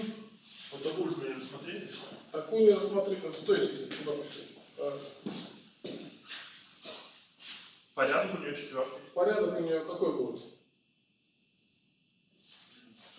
Почему третий? Четвертый. Здесь же квадрат стоит. Здесь вершине Ж, а здесь же квадрат. То есть порядок у действительно четвертый. Да? Ну а чего в ней не так? Ну, кроме того, что она в размерности регуляризации получится нулевой, ну, это отдельная, отдельная история, да? Если вы начнете считать, у вас здесь будет стоять некая петля, и в, в феймановской калибровке здесь будет безмасштабный интеграл, скажем. До 4P это просто э, будет ноль. Но в ней еще не так то, что она в минимум часть не дает вклада. А, ну это же вот сюда она относится. Ну, а? Она как бы вот сюда относится, который в те, вот, нет, вот в этой Ну, диаграмме. она относится вот в этом многоточие, тех диаграмм, которые либо, э, либо э, дают минимуму часть, но такую же, как в кэде, либо они вообще не дают минимуму часть в принципе. Да? Есть здесь приходится разрезать только одночастичное состояние, оно минимуму часть не дает, как мы судили вот на том примере. Да? Кроме того, она в размерности регуляризации будет давать ноль просто эта диаграмма. Это еще один аргумент. А, ладно, сейчас мы должны сообразить следующее. Вот у вас есть убойная часть, да? Убойная часть э, амплитуды, записанные всеми вот этими диаграммами, включая вот эту тоже, да? Эту диаграмму тоже записали. Потом начали считать минимумную часть по правилу Катковского, да? Вот разрезанием а, разрезанием. Что мы получим в результате? Можем мы как-то это записать? Вот я специально, чтобы вам было проще сформулировать ответ, ввел две такие амплитуды. Одна амплитуда перехода кварк-антикварка в аглион, а другая амплитуда перехода кварк-антикварка в двух-антидух.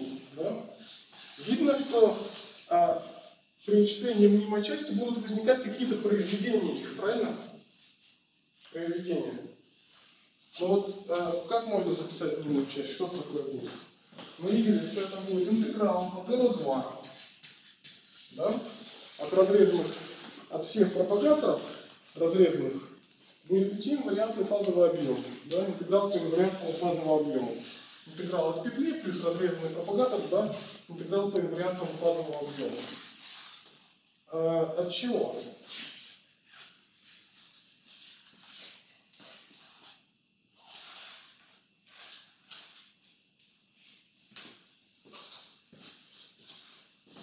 Вот, например, первая диаграмма, мы разобрались, как она будет выглядеть. Она будет выглядеть интеграл по DL2 и вот этот кусок на такой же сопряженный кусок. Да? А минимая часть от вот этой диаграммы как будет выглядеть? А, это просто надо перевернуть. Надо ты меню умножить на себя. Это будет, это что такое будет? Вот рядом зеленый, да? Это будет произведение вот этой амплитуды, то есть вот этой диаграммы, на сопряженную вот эту амплитуду, и сопряженную вот эту диаграмму. Да? Соответственно, следующая диаграмма будет наоборот. Не наоборот, а произведением вот, этой, вот этого куска, да, на сопряженный вот такой кусок. Верно? Следующее будет произведение вот этого куска на сопряженный вот такой кусок. Вот эта диаграмма произведение двух такого и сопряженного. Да? Ну, коэффициент 1 вторая есть еще в амплитуде. Да? Общая 1 вторая. Значит, каким образом можно записать полный ответ? Полный ответ посчитанный по правилам Подкостова. Что это такое будет? Догадайтесь? Ну, произведение это будет а, произведение Т, как я писал, ну, АБ, да? Ну, АБ. На Т ну, АБ сопряженное. Что еще? При этом несколько раз я одно и то же вычитываю. Вот смотрите, нап- например, если я вот такую диаграмму умножу на такую же сопряженную, на такую же сопряженную, представили, да, себе картинку, такую же сопряженную. Это будет то же самое, что я вот это умножил на, на себя же, правильно? То есть я, э, при этом у меня двойной счет происходит здесь, да? То есть пополам, а там как бы там. То есть нужно пополам написать, да. То есть я пишу пополам, да. Этот пополам учитывает либо двойной счет, например, я в этих диаграммах я сейчас показал, либо он учитывает что? Либо одну вторую из фактора симметрии. Верно? Для вот этой диаграммы, например, у меня будет такая, но такую же. Один раз. Но там есть одна вторая из симметрийного фактора. А с вот этой диаграммой какая Это что? просто САБ на САБ сопряженная должна быть. Совершенно верно. Тогда это минус, правильно? Из петли. А, подождите, а мы же и на САБ определили. Там же И на, и на S, да. у нас и раз минус единицу. и- Не, ну, и на и сопряженные это единицы. Можете ее подписать, как а подписать. все сюда же. То есть будет минус э, SAB на SAB сопряженные. Правильно? Вот на это еще раз внимательно посмотрите и скажите, понятно вам? Все, все пары воспроизводят, все разрезанные диаграммы воспроизводят такое произведение. Ничего лишнего здесь нет, ничего. Правильно все? То есть вот это мы получили из э, правил Катковского, да, с вами, с одной стороны.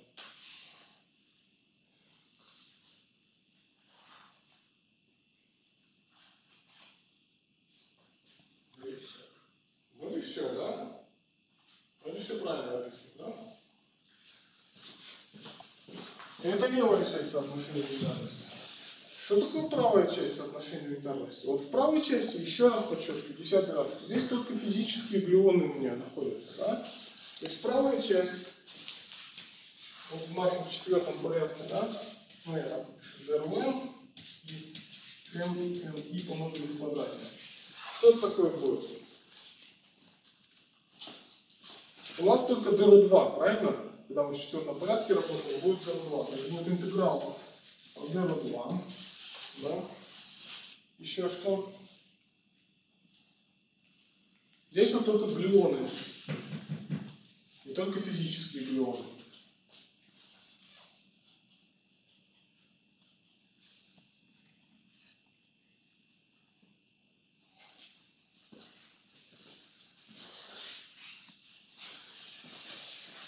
То есть вот эта штука, она связана с какой амплитудой? С, Т или? М, с- Только с Т, потому что у меня в правой части есть только глионы, правильно? Говорю, Духов в физическом пространстве нет. Есть только глионы, причем вот эти глионы, они э, берутся только поперечными, да? А, то есть ам- общая амплитуда так записывается. Это сверху вот эта диаграмма с векторами поляризации, да? Если здесь вектор поляризации, здесь вектор поляризации. Я возвожу это по модулю в квадрате и суммирую только по физическим состояниям. Вот эта сумма, это сумма только по физическим состояниям, да?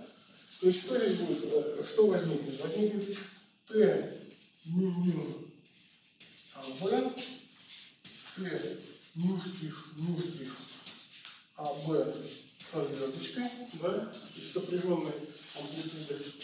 А сумма по только физическим состояниям мне даст вот этот Б, правильно? Понимаете? Вот еще раз глядите. Амплитуда перехода кварк-антикварков 2 глиона. Это что такое? Это есть вот эта диаграмма, свернутая с вектором поляризации. Е1 мил, Е2 мил. Да? Значит, я это возвожу по модулю в квадрате и суммирую по всем по поляризациям конечных глионов. Но суммирую только по поляризациям физических глионов.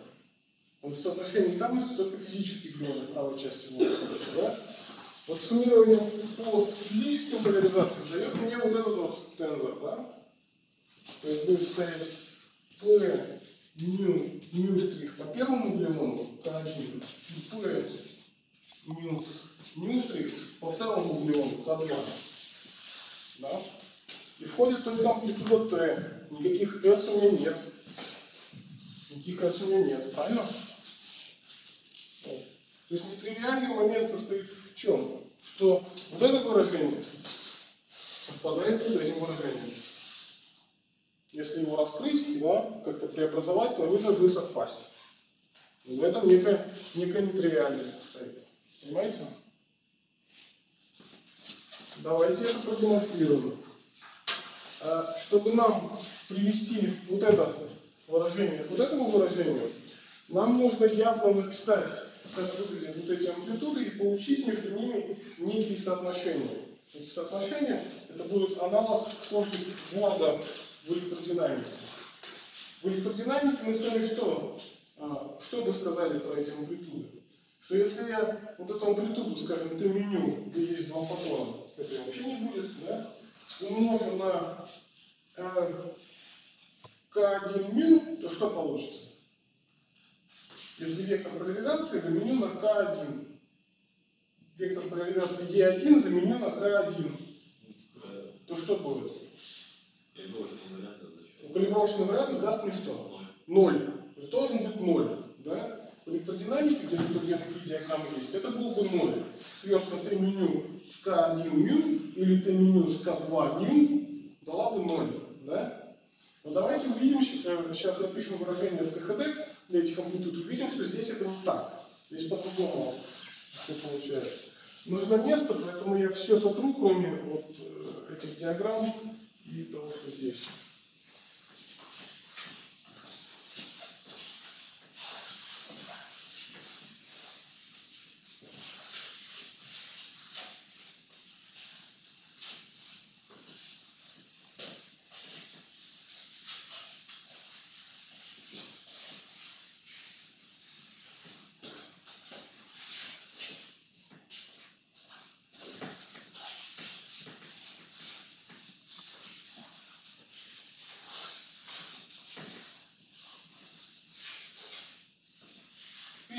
Выражение для наших э, амплитуд, вот этих S и T, и посмотрим, как они выглядят. Ну, с чего? Давайте с того, что попроще. А, с S. То есть S равно? S АБ. Ну, я переписал вверху, нет, вверху тут. S АБ. Амплитуда. Правило фильма напишется на И амплитуде, да, поэтому на И сразу надо напишем. А здесь будет то, что по правилам фильма пишется. Давайте доступно делите. У нас сегодня немного. Поэтому снова не полагать.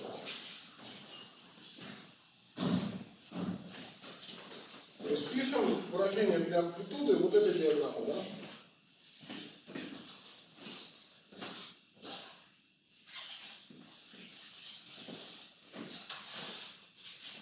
Мы работаем э, в фибоновской калибровке, да, как я уже сказал, фибоновской калибровке.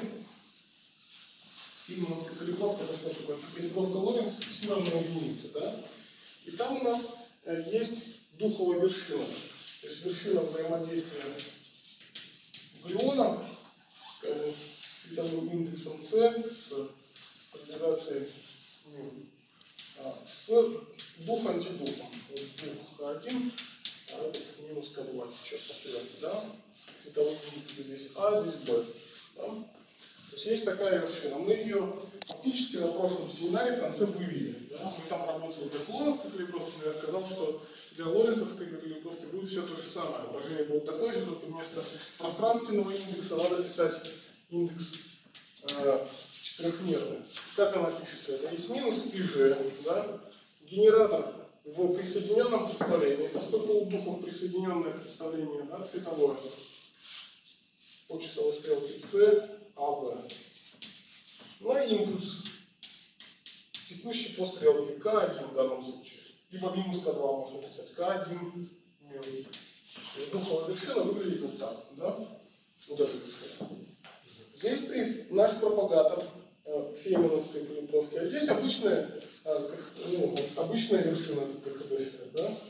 То есть вершина. Индекс какие методы, да? То есть это что такое? Минус ИЖ, Т. Если это индекс С цветовой будет, ТЦ, М индекс, да? То есть вот эта вершина, это вот такая, такого вот вершина. А здесь пропагатор. Да? Вот рисуем. Сначала левую часть. Вот что есть чертой, да? Это у нас- а, Вот здесь P1 минус P2, P1 минус P2. То есть у нас чертой P2. Что в этой вершине стоит? Минус да? Минус и да. Этот минус уже он такой же вот здесь. Обратите внимание, они очень похожи. Да? Если минус и же, минус и же, да? Если генератор соответствующего представления, если генератор представления э, для э, духов.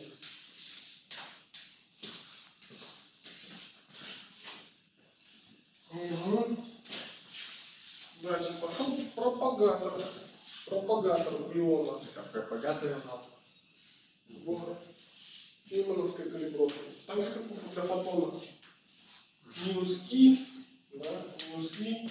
А, ну, дальше идет G меню, который вам делает этот индекс таким же, как этот. Ну, можно это все уметь. То есть это уже... Просто минус И, да. Минус И поделить на Так, видишь, минус И, да.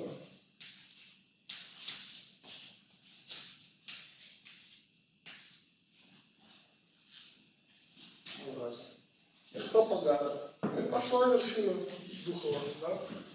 То, что индекс ню такой мы уже учли, уже не стали писать, да, вот вершина, да? Э, ну ладно, чуть сюда дыша. Э, какой чертой? Так, как, это? Духи, у них нет никаких спиноров. Они в этом смысле как скалярные частицы. Вершина вот он. А, то есть это полностью... Значит, вершина вот такая, где F, где T, это что такое? Это генератор присоединенного представления. Минус И, F ОБЦ. А напишите его сразу, чтобы не переписывать то же самое. А, Сразу. А. Т это ми- минус И, F ОБЦ, да? Вот Минус ИЖ, F ОБЦ. Или гамма. Какая гамма? Нет гаммы. Гамма на А, спиноре а, действует, а здесь им- импульс стоит. На прошлом семинаре, помните, мы вводили выражение для вершины, там импульс стоял. Только в фуллеровской калибровке здесь стояла КИ, да, трехмерная, а здесь стоит КМЮ, четырехмерная. А, К с каким индексом? Ну, таким же. Таким же, как здесь, да. Угу. Давайте все, все там сокращаем, собираем. То есть у нас здесь... Нет, вот сюда вот. Давайте сюда его запишем, здесь таблички, чтобы доставить свободно. А, ну все и у нас тут просто в единицу. А, нет, одно минус все будет.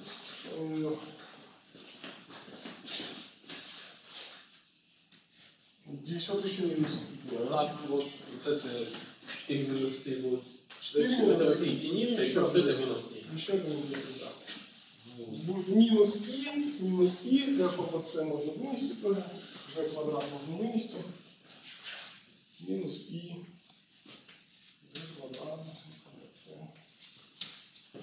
Там разве не У будет? Какой что ли? А он что написал? Ой. Ну что такое? вот? У или В? Так, так.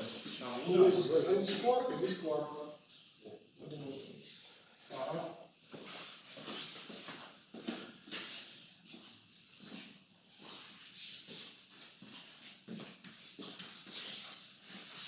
Вас чертой по 2, да? Что там будет? К1 со шляпой. Добавим К1 со шляпой. Так, ну это,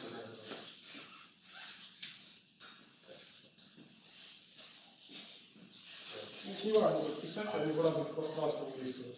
Гамма-матрикс действует в стеновом пространстве, дальше четырехмерном а, генераторе в цветовом пространстве.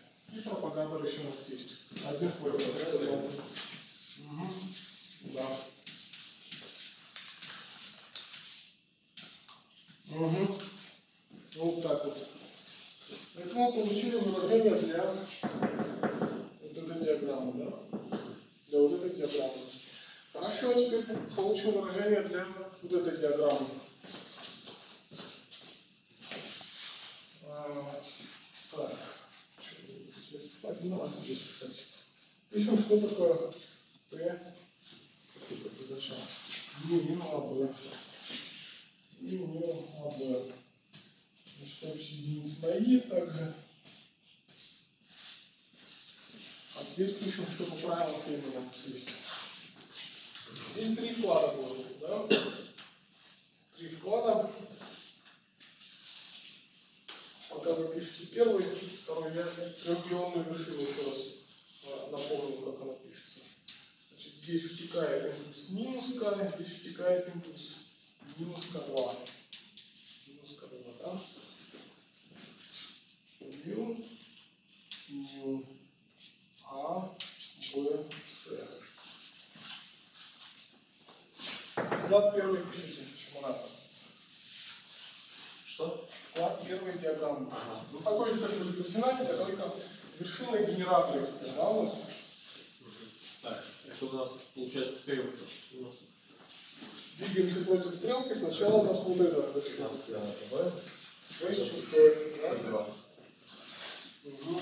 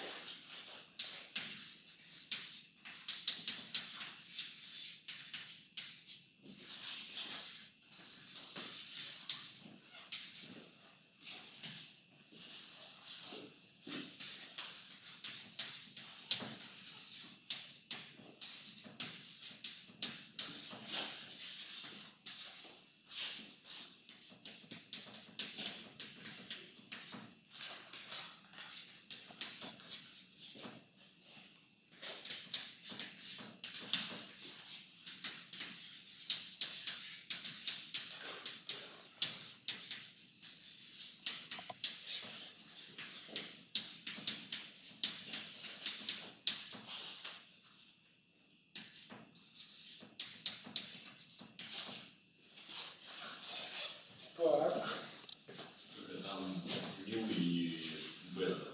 сейчас, значит, у нас сначала здесь идет уже индекс ню, да, вот на вершине стоит гамма ню. Гамма ню и генератор с С индексом b, да? Индексом b. Окей, потом пошел э, фермионный кварковый пропагатор, да? Он выглядит знаменатель вот такой, да? У него есть числитель, там именно числитель. И что еще числитель у него? Как, как для электронов. Какой же электрон? Там тут должен быть. А, ну, Как у электрона. Тот самый, как у электрона. То есть, что там будет? P1 минус K1, да, импульс его со шляпками. Все, всю эту динамику забыли. Первый семестр знал, но сдал, да? так, и м, сам еще. А, не- знал, но не сдал. Вот. Да. Да. Ну ладно. Только не минус m, плюс m. Да? Числитель можно с пропагатором сократить, и полюс с точки m должен быть. Понимаете, да? Что и типа говорит, а, правильно, пишите минус g, теперь вот эту вершину. А у нас стоит. Да, там га и гамма, гамма мин. Гамма мин. Так, а где у нас своя частота? С чем? Ну, просто мин. Ну, по идее, вы... А, значит, пишете поляризация. Меню сворачиваете с векторами поляризации. Но я их здесь не пишу, да, мы пишем выражение э, без векторов поляризации, да? Правильно? Конечно, когда вы пишете амплитуду перехода кварк-антиквар, глюон, э, два глюона, вы должны писать еще векторы поляризации, от них у нас после суммирования не возникли вот эти P, да? Плюс, ну давайте вот здесь пишите. Вот Сюда. Вторую диаграмму, давайте пошустрее немножко. Здесь пока что только электродинамика все.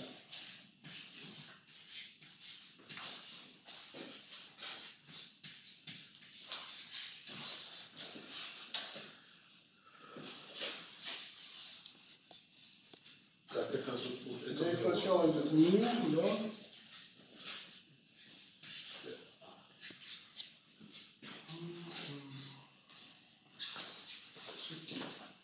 Много места.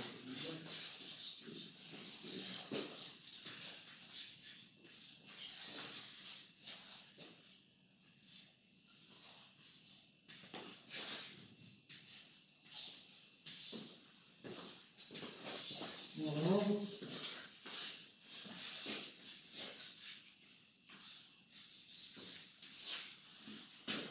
Твердой гаманью, да?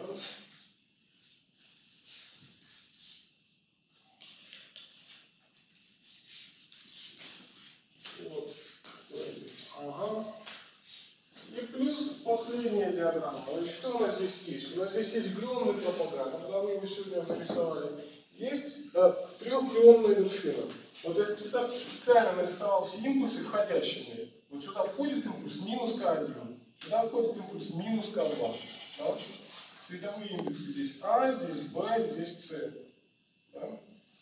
И есть еще лоренцовские индексы. Мю, мю. И, в принципе, здесь у пропагатора капа индекс. Да, какой-то, или лямбда. лямбда.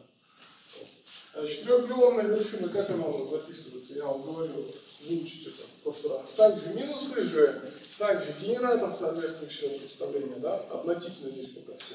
А здесь стоит, двигаясь против часовой стрелки, так же как пишется А, Б, С, да, А, Б, С, это называется по часовой стрелке.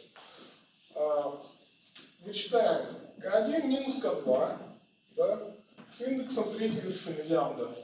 И метрический тензор с вот этими двумя индексами К1 и К2. И так вот все остальные. К2 минус К3, К3 минус К1. Да? Вот пишет для нашей вершины вот это. Как будет выглядеть амплитуда? У нас место есть. Так, ну сначала. Здесь стоит B с чертой. А, тут так же, как в том случае. Да. Гамма, лямбда. Да, допустим, ПЦ.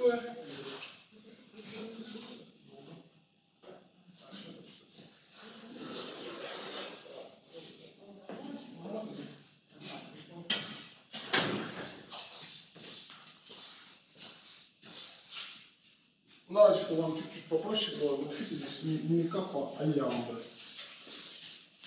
Сразу отсюда списала, да? Минус и, а, это из пропагатора, что там будет, К1 плюс К2, да? Импульс К3 наш, и теперь К1 плюс К2. Угу. Так, и вершина. И вершина. Вот она ваша вершина, да? Минус G. Давайте генератор тоже сразу напишем, вот что такое минус, минус I. Все минусы аккуратненько пишем, чтобы он, они потом никуда не, не потерялись. АБЦ, угу. и скобку открываем.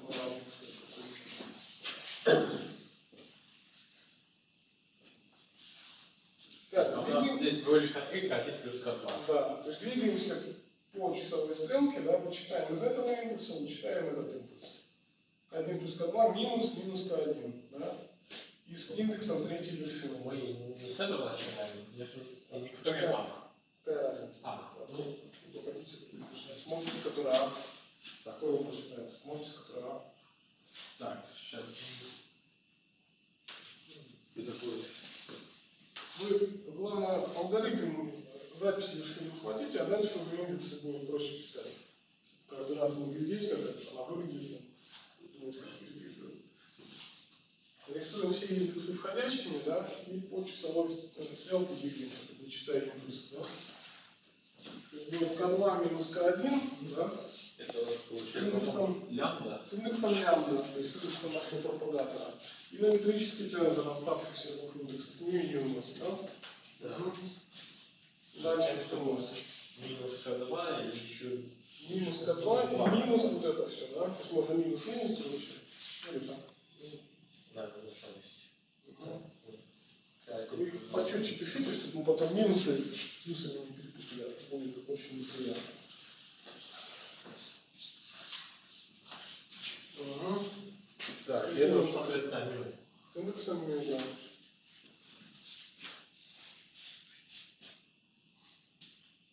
Мы ждем долину и абстракция 200 сюда. Да, это у нас будет минус К1. А, нет, вот это минус вот это. Ага. Минус К1 плюс К2, минус минус К1. Это Ага. будет с плюсом. Ага. Будет 2 К1 плюс К2 с индексом вершины. Ну, И Ж Соответственно, мю, наверное, так. миллиард, да, это способ закрылось. Ага. Ну, Вот такое выражение получили. Да? Отлично. Ну, давайте. Так. Надо его куда-нибудь переписать. Упрощенное. Давайте вот, а, вот это у вас есть в тетрадках, да? Новой доске все равно не хватает. И соотношение унитарности, которое мы хотим проверить, у нас тоже есть. Вот переписываем сюда нашу амплитуду. Да? S мы написали, теперь у нас осталось 3 минуты. А, да, еще ладно.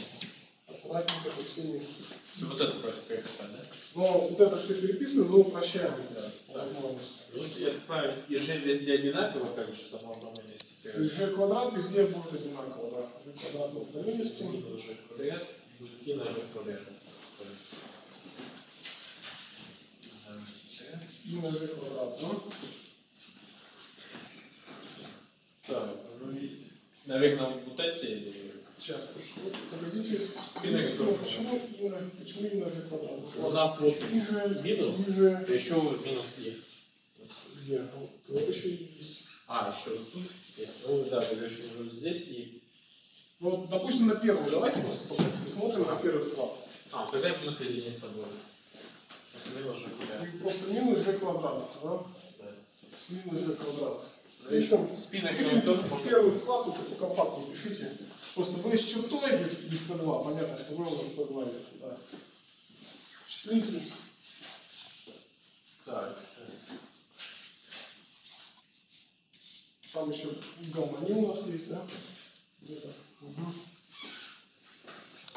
Вы, Можно первый и второй так вместе написать. да, их можно написать э, вместе, вы не путайте э, лоренцевские индексы и цветовые. Вы сначала напишите все лоренцевские, потом цветовые. А, в смысле, гамма один. Ну, просто чтобы они не, не- не болтались между. Они коммутируют, естественно, они говорят в разных пространствах.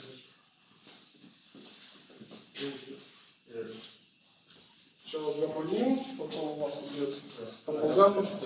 А, еще Я же со шляпами все.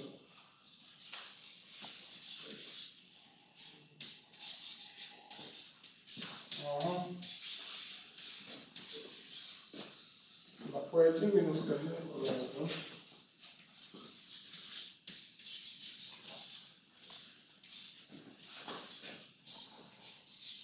Чуть-чуть пошустрее мы переписываем очень бумаги сюда. Дальше гамма минус у нас еще есть, да? Теперь самое время генератор написать. Здесь порядок какой? ТП, да? Да? Вот их уже нельзя другом. Они должны в правильном порядке ТП, так. Угу. У нас да? Лучше вынести. Ну, можно, можно, Можно все вынести. И в, и в. Можно все вынести, да. Ну, и тогда большую скобку поставьте. Ага. Так, и потом здесь плюс у нас, тут тоже с плюсом. Здесь все то же самое, только вот здесь порядок, порядок генератора, да? Гамма. Мю будут, они? Ага. Так, и здесь уже минус К2. Давайте сразу а, с прицелом на будущее, погодите секунду. А, в силу закона сохранения а, P1 минус К2 это что такое? Это то же самое, как что? Так, P1 минус К2 это то же самое, что К1 минус К1 К2. минус P2. Напишите К1 минус К2. Угу. И вот его.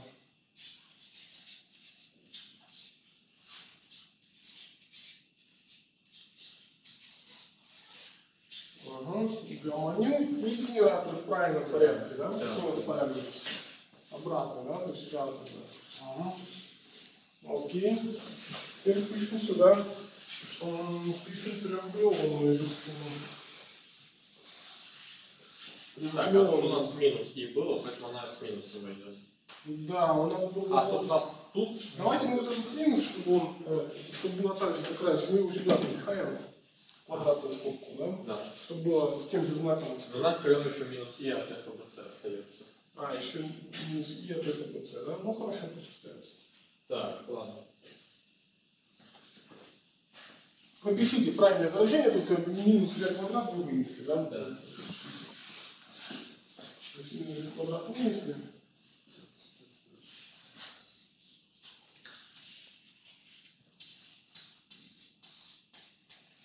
Э, Давайте так сделаем, подойдите секундочку. Вот эту гамма-лямбду, да, мы, мы ее сюда свернем, да, и у нас здесь будут соответствующие шляпки. Тогда сначала генератор, ТЦ, да, Тут минус и еще тогда. минус И. Какой минус И, погодите. От ФБЦ. Извиняю, тогда. Ну, тут. А у вас еще вот это есть. Так оно вон, вон там. Ну, ну, То, то, что вот это я, но общее, оно снаружи. Ага. Снаружи. Где снаружи? Ну, то есть его, его там совсем Вот сократили. мы минус же в квадрате. Вот это и его сократили вот с этим и. А здесь вот с этим и, а еще есть вот Ага, хорошо.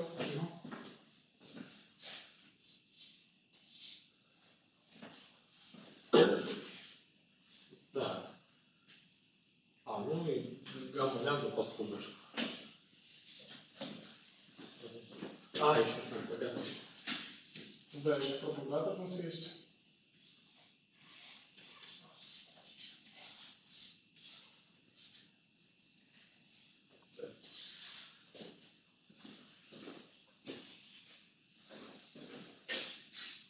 А, И гамму вы запихали внутрь, да? Да. Гамма лямбда, вот гамма. Ага, нажи- нажиму. Ага. Так, здесь соответственно будет гамма. Извините еще раз, ну, на секунду. Вот если вы все-таки так пишете, то общий знак у вас, смотрите, вы минус ИЖ, минус ИЖ, дадут вам минус Ж квадрат, и вы минусли, да? Осталось минус И отсюда, минус И отсюда. А, я один минус упустил. Да. Да, будет плюс. правильно. Вот. Гамма, гамма какой? Мю. На К1 плюс К2 это числа, их можно представлять в гамма матрице, да? Фиксомер. Угу. Соответственно, будет гамма. Ага.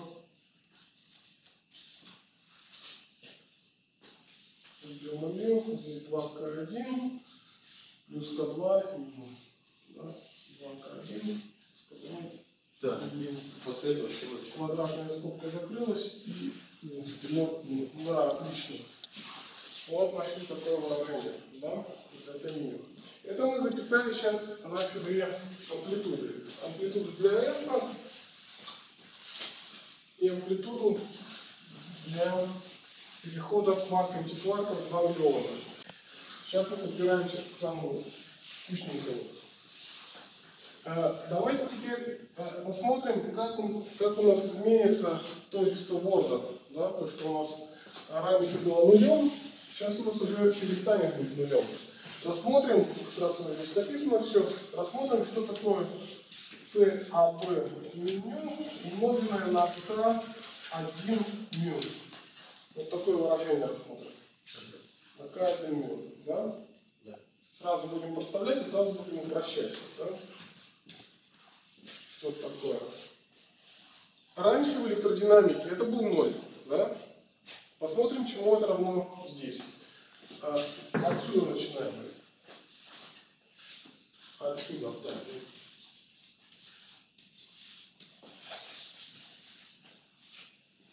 Значит, мы должны по индексу мю свернуть с К1. То есть будет К1 здесь, да? Шляпа.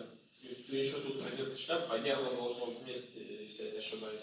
К1 в квадрате дадут, дадут 0, да, у нас они на массовой поверхности находятся. Погодите секунду, еще, еще так говорю. Значит, здесь представили, здесь у нас стоит К1, да, со шляпой. А если я этот К1 прокоммутирую через P1, так представляете, да? То есть P1 прокоммутировал, у меня осталось удвоенное скалярное произведение, правильно коммутировал с P1, а здесь возникло минус P1 плюс масса, да? И это все действует у и 0 куб. Что это такое будет? Это будет 0, правильно? Потому что минус а, P1 плюс масса, у нас вот еще К1 остался начать, да? На U от P1. Это есть 0 силы уравнения Дирака. Верно? Сила уравнения Дирака. Значит, у нас э, что здесь останется в числителе? Получится масса и плюс 2 Нет, масса, масса, А, масса туда Просто Дирака. удвоенное скалярное произведение. Удвоенное скалярное произведение. А знаменатель что у нас? Так, а в знаменателе у нас масса минус масса и 0 тут тоже удвоенное скалярное произведение. Тоже удвоенное скалярное. С минусом. Что, с минусом? С минусом, да. С минусом, правильно. С Вот пусть это минус гамма ню. Будет минус гамма ню, да, и два генератора еще, да. Успеваете, да, сходить? Мы уравнение генератора использовали. К1 протащили, вот этот К1 со хлеба, протащили его влево, да. Угу. Окей, э, сюда смотрим. Сюда. Здесь история такая. Здесь у меня сначала идет К1, да, потом идет а, К1 минус П2, К1 минус П2 плюс масса, правильно? И здесь тенор В стоит. Счет П. Здесь как надо поступить?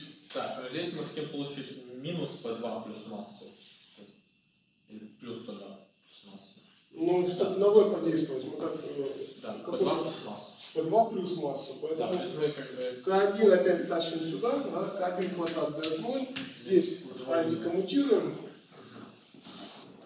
да, и что получится?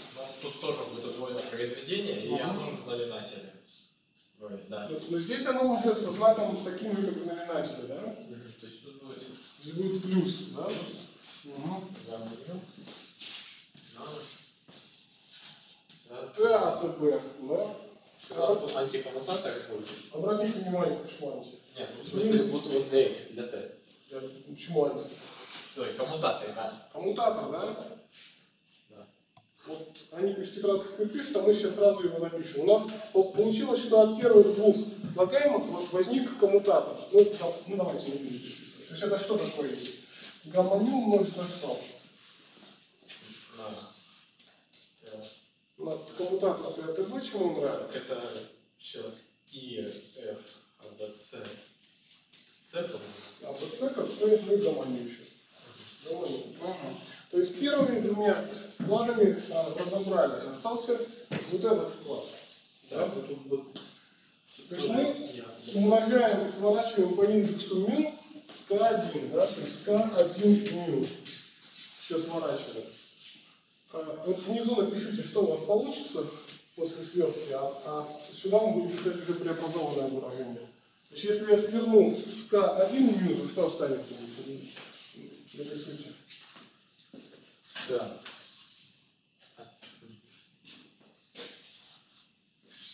То есть мы сворачиваем эту трехугольную вершину с К1 мю. К1 мю. Здесь будет К1 мю, да, дальше. Так, потом. Здесь у нас. А, оно вот с этим будет сворачиваться, К1 свернется в ноль. К1 в квадрате дает 0, и здесь осталось Скалярное произведение. скалярное произведение, да? Минус 2. Один к 2, да. Угу. Угу. А здесь, Здесь просто произведение. здесь будет К1. Стоп, нет, это не будет, то есть, да, Здесь не будет К1 со шляпой, да, возникло. Да, вот с этим оно в ноль. Почему в ноль? А, нет. По минус сворачиваете. Будет К1 Такая со вот шляпой. А, ну здесь так и останется. Так и останется, да. 2 плюс 2.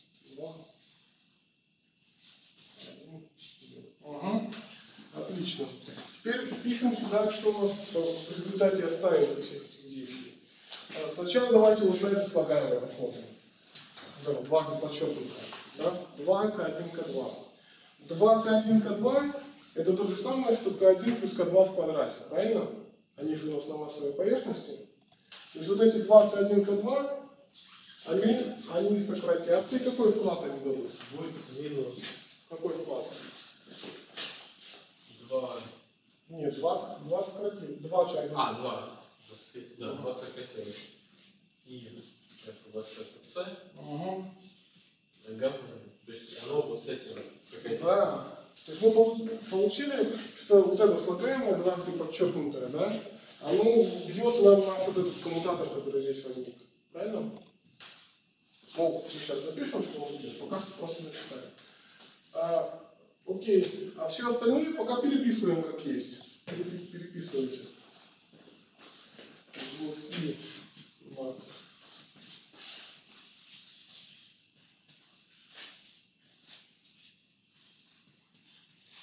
Угу. Запоминайте, а здесь, а, А здесь давайте можно- даже чуть-чуть пониже здесь вот напишем. А здесь вот Тоже сократить. Здесь тоже сейчас сократим. Давайте соберем а, шляпы при К1 ню и К2 ню. Вот при К1 ню что будет стоять? Так, ну при К1 ню у нас Значит, К1 ню умножить на что? К- К1 ню. Ну, Здесь будет К1 со шляпой одно, и К2 со шляпой тоже одно. Ну что получится? Так, К1 плюс Получится К2. К1 плюс К2 со шляпой, да? Да. Это уже приятно. Так. А при К2 ню плюс К2 ню. Да? Что- будет? А при К2 ню.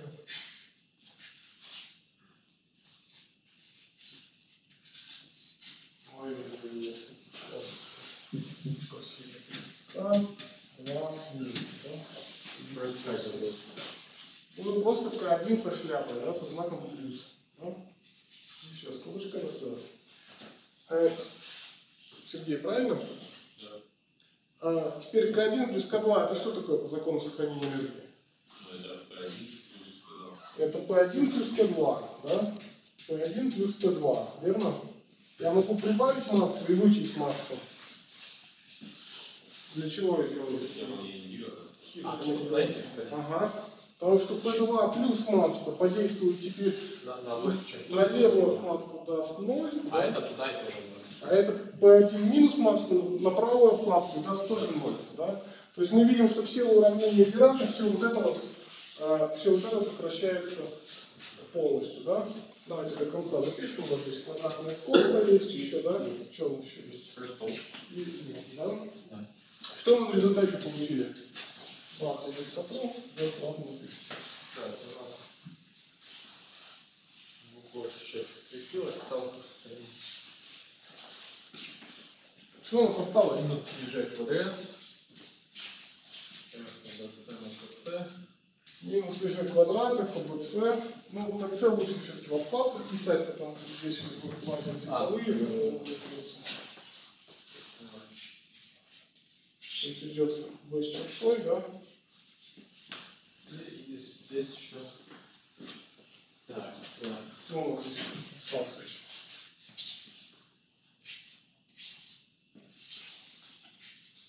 К2 минус, это число, его можно вообще наружу написать. Да? Это число можно вот куда-нибудь сюда вот, вперед написать. Чуть-чуть пожирнее пишите, чтобы не было. Так, а здесь у нас только просто К1 на К1 за 102 вставляется. Ага.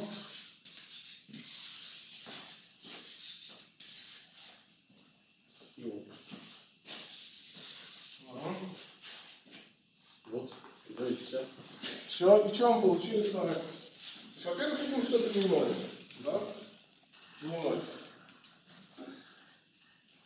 А, ну, что, знакомо это у нас На S похоже. на S похоже, да? Ну, сколько оно на S похоже? Так, а Бест у нас это у нас что-то со шляпой. Ну, да. есть, да. Тоже S, только еще на Хамина умножаем. Да, получилось просто S умноженное на К2. Да? Вот давайте запишем это соотношение. То есть наша а, К1 на Т мю АБ равно, ну, где-нибудь, не знаю, где-нибудь красивыми большими буквами напишу да?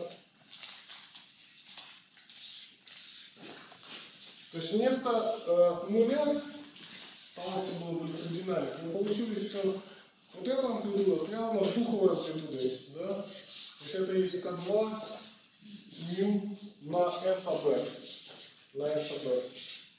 И совершенно аналогично, это оказывается, да, все манипуляции те же самые.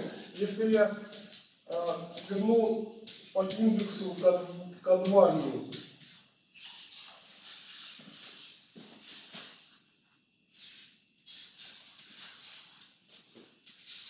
будет К1 мю и то и САБ. Да? То есть вот мы видим, что у нас некая модификация, некая модификация а, по числу это возникла, да? То есть это уже не ноль, да? Это не ноль. Но обратите внимание, если я теперь вот это соотношение, то есть вот эту амплитуду умножу на k1 мю и на k2 ню, да? То k2 в квадрате даст 0, и это таки будет 0. Да? То есть если вы умножите это на, k, на k1 мю, t мю ню и k2 мю, то это будет 0. Правильно? Ну, как, как следствие этого выражения. Вот. И получили, что вот эта амплитуда связана с духовой амплитудой. То есть фактически у нас духи, духи как-то должны сокращать, возможно, некие степени свободы для, для глюонов, да, или сокращать, или удваивать, короче, с ними интерферировать как-то, правильно? Вот. То есть мы вывели вот эти два замечательных соотношения, теперь давайте последнее, что нам осталось, буквально минут 5, наверное, это воспользоваться этими соотношениями и убедиться, что действительно соотношение унитарности выполнено. Да? Вот здесь вот вопросы есть по поводу вот этих двух тождеств? Здесь все понятно?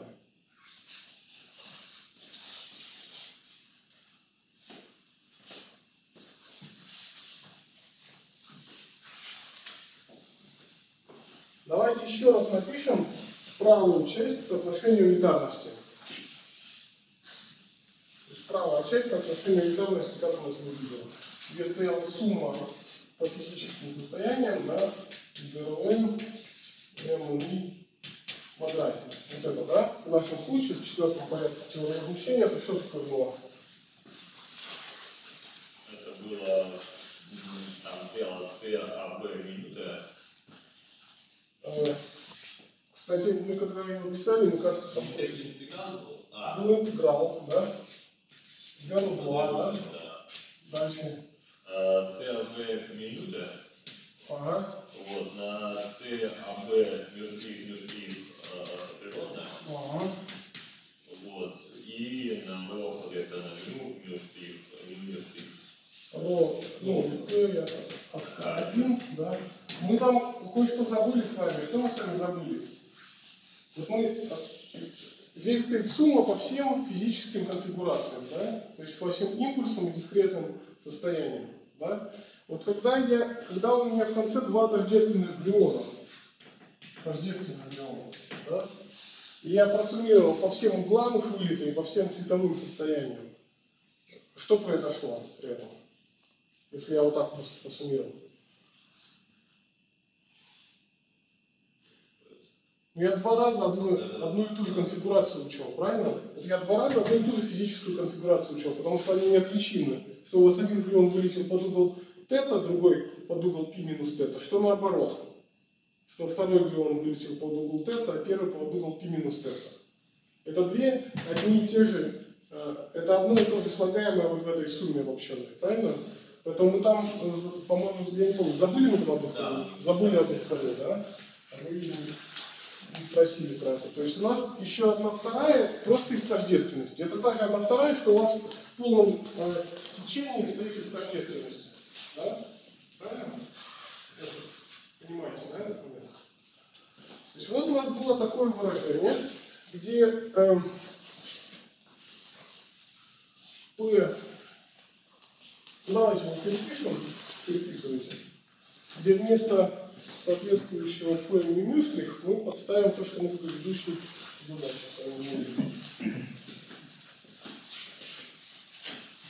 А ты пока прям так, как А ты пока прям так, как есть писать, да. Я пока все лишнее смотрел.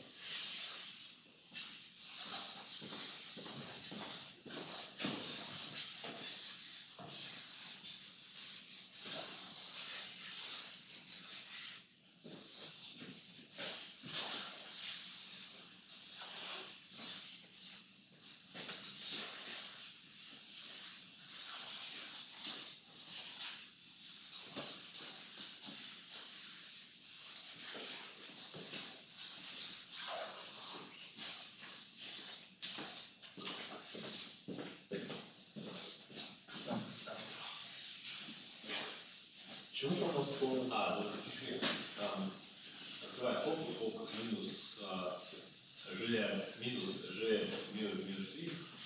Минус минус да? Ню, ню штрих. Ага. Плюс единица на R. Ну, Мы же, на какой n? а мы считаем, что у нас, не, ну, к- за место R,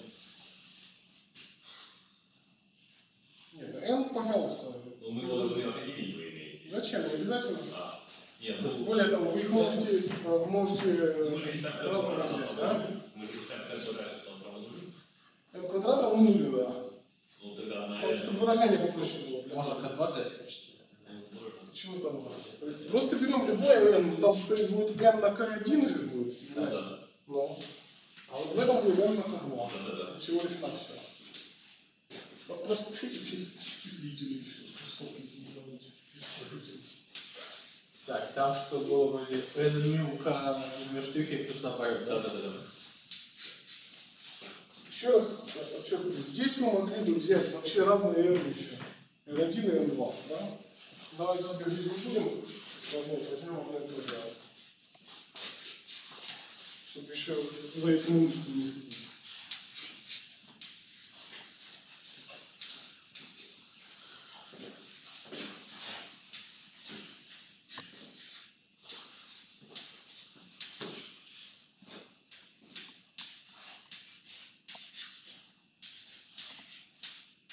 А здесь К2, да, у нас? Так, здесь, здесь один другой уже, да? Идем, здесь аккуратно пишем.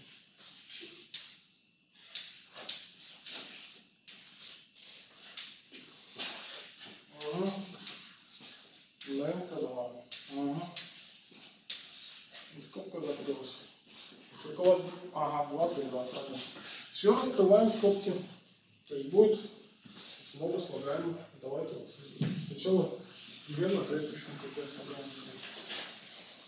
То есть мы сейчас что делаем? Мы сейчас смотрим правую часть соотношения унитарности и с помощью вот этих тожеств, которые мы с вами вывели, убедимся, что она будет такая же, как левая часть. То есть как та часть, которую мы получили из правил Катковского. То есть в этом будет торжество нашей науки. Да? Так, ну здесь у нас получается просто, нам что даст?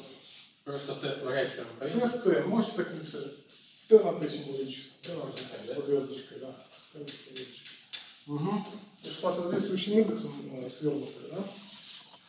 Так, потом, когда мы Допустим, из первой теперь берем вот эту Ж и вставляем вот эту скобку. Что мы будем получать? Мгм. Тогда у нас, ну, тест вернется по первому индексу. Ага. Так,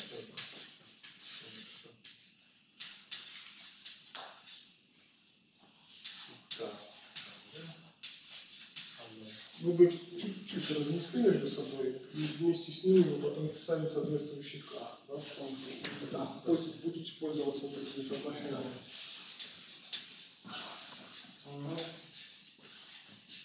Да, Т по первому индексу свернуто, а теперь вот этот индекс ню, да, он у нас в первом случае N сворачивается, а с этим... сворачивается в первом случае с M, так и пишем. Так, так, плюс N. Так, а, соответственно... А, ну от этого слагаемого мю штрих это сказал как это, ладно, отсюда.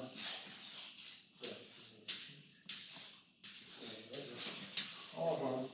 Это, вот это написали. Есть еще такое. Так, ну тут, соответственно, их просто местами поменяем. У вас одно Т сопряженное. Вот это Т сопряженное.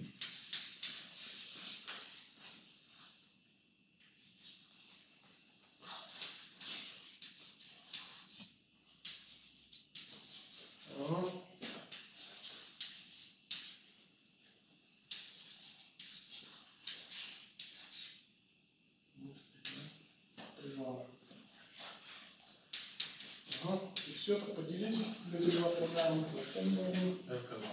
НК2. Так. Ага. НК2, да. Так. А, ну дальше будет похоже на конструкцию. Теперь вот эта конструкция.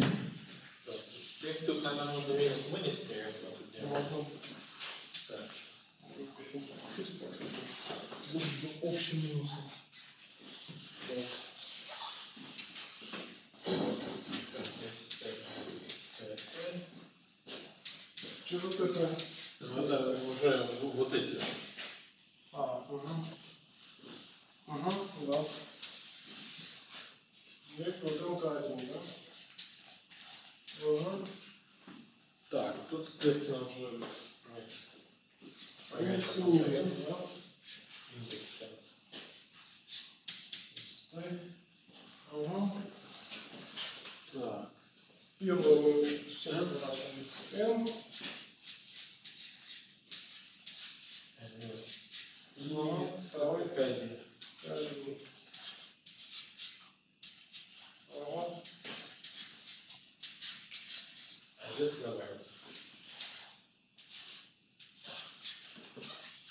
Один. Ага.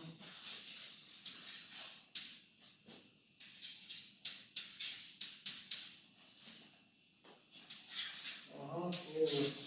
Да. Это мы рассмотрели вот такое, да? Теперь осталось вот такое еще. Так. Могу ли понять, что тут много о чем обнулиться? Можно. То есть у нас опять как бы, мы рассматриваем 2 к 2. Ага. То есть у нас обнуляется вот это с этим, Вот это с этим почему обнуляется? Что тут как бы К1 и К2 с разными индексами, они вот Да, да, да, в силу вот этого соотношения, правильно? У меня К1 и К2 сворачиваются с одним и тем же Т. Да? Как, какой еще ноль будет? Ну и точно так же вот эти там. Вот эти два будут. Здесь это К1 и К2 сверну- свернутся с вот этим Т и дадут ноль. Да? Поэтому здесь будет только два слога. Да, перекрестно. Такое, такое, такое, такое. Ну, давайте пропишем это. Еще вообще знаменатель будет двойнаком. Если мы правильно не понимаем, да?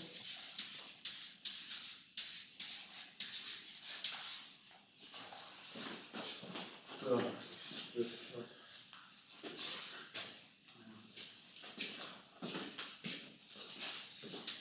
Это отсюда двойнак, отсюда да? Так, значит, у нас Вы смотрите, если у вас Т по вниз поворачивается, то можете F. писать. Ага.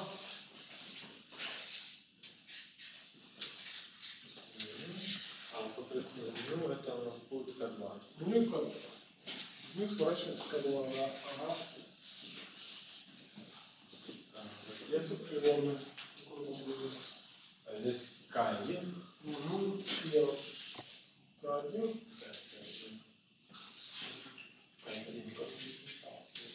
Ага.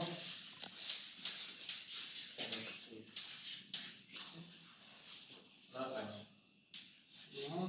И Т со звездочкой еще. Угу. И плюс. Вот сюда вот надо, кстати, Чуть-чуть подальше. от того, где И наоборот, второй берем. Так, тогда здесь сначала К1. Вторая. Ага. Один.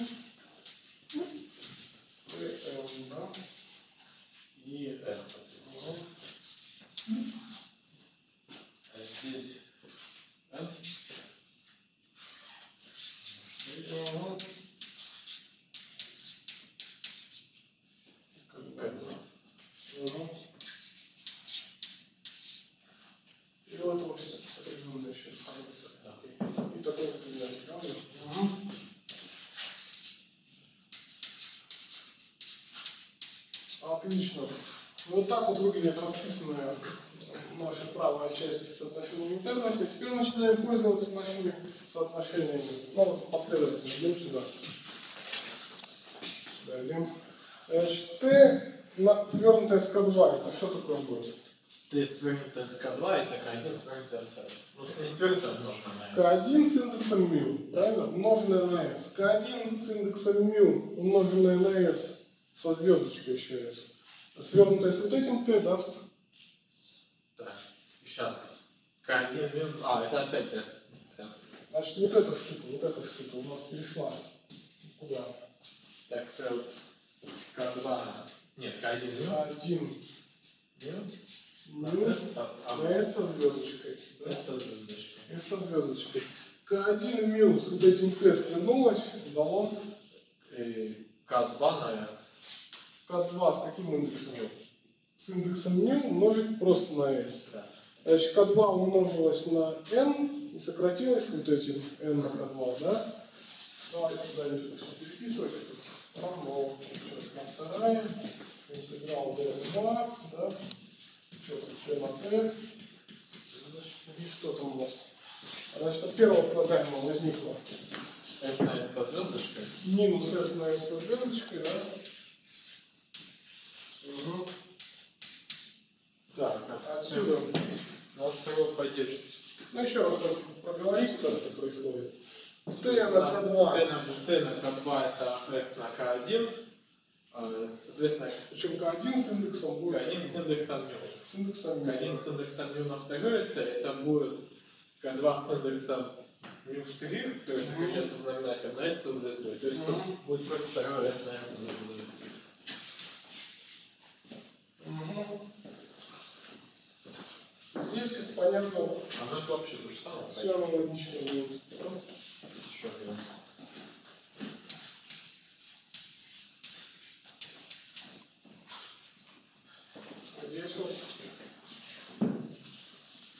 Так, здесь у нас канва мю на t. Это будет так, k мю s. Угу. И все, у вас сразу образовалось. К1 на m, да? Да, оно сократилось. Оно сократилось. Угу. А здесь это будет когда, когда мю штрих. Угу. На s тоже сокращается, сразу вот. Ну и здесь аналогично должно быть. Угу.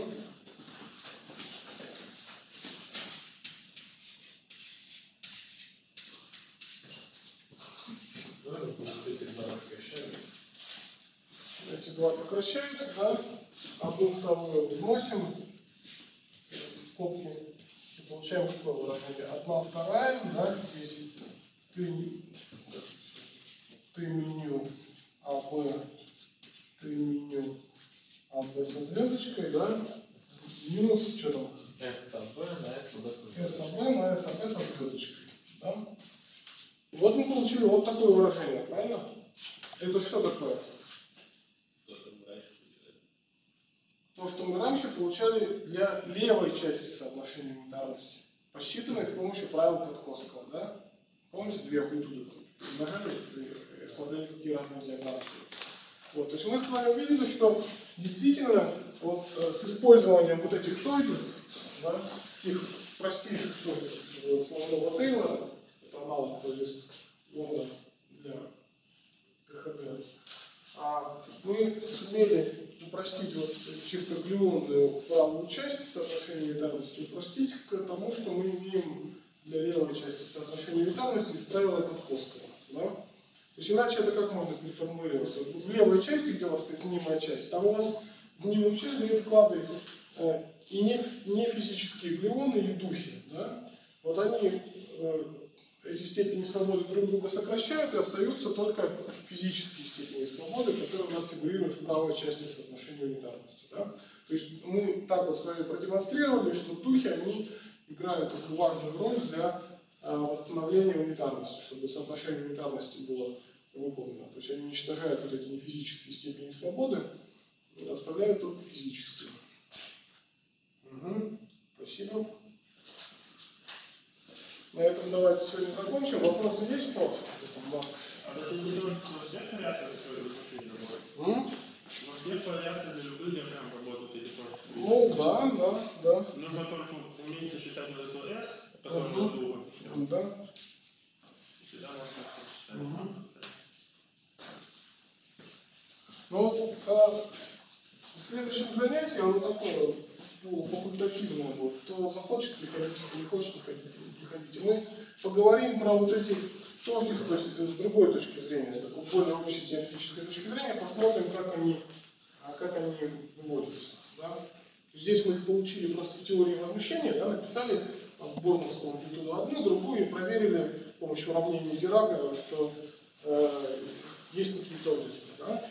А мы с вами можем получить их из более общих, более общих соображений. Но вот это сделаем на следующем таком занятии. На сегодня все.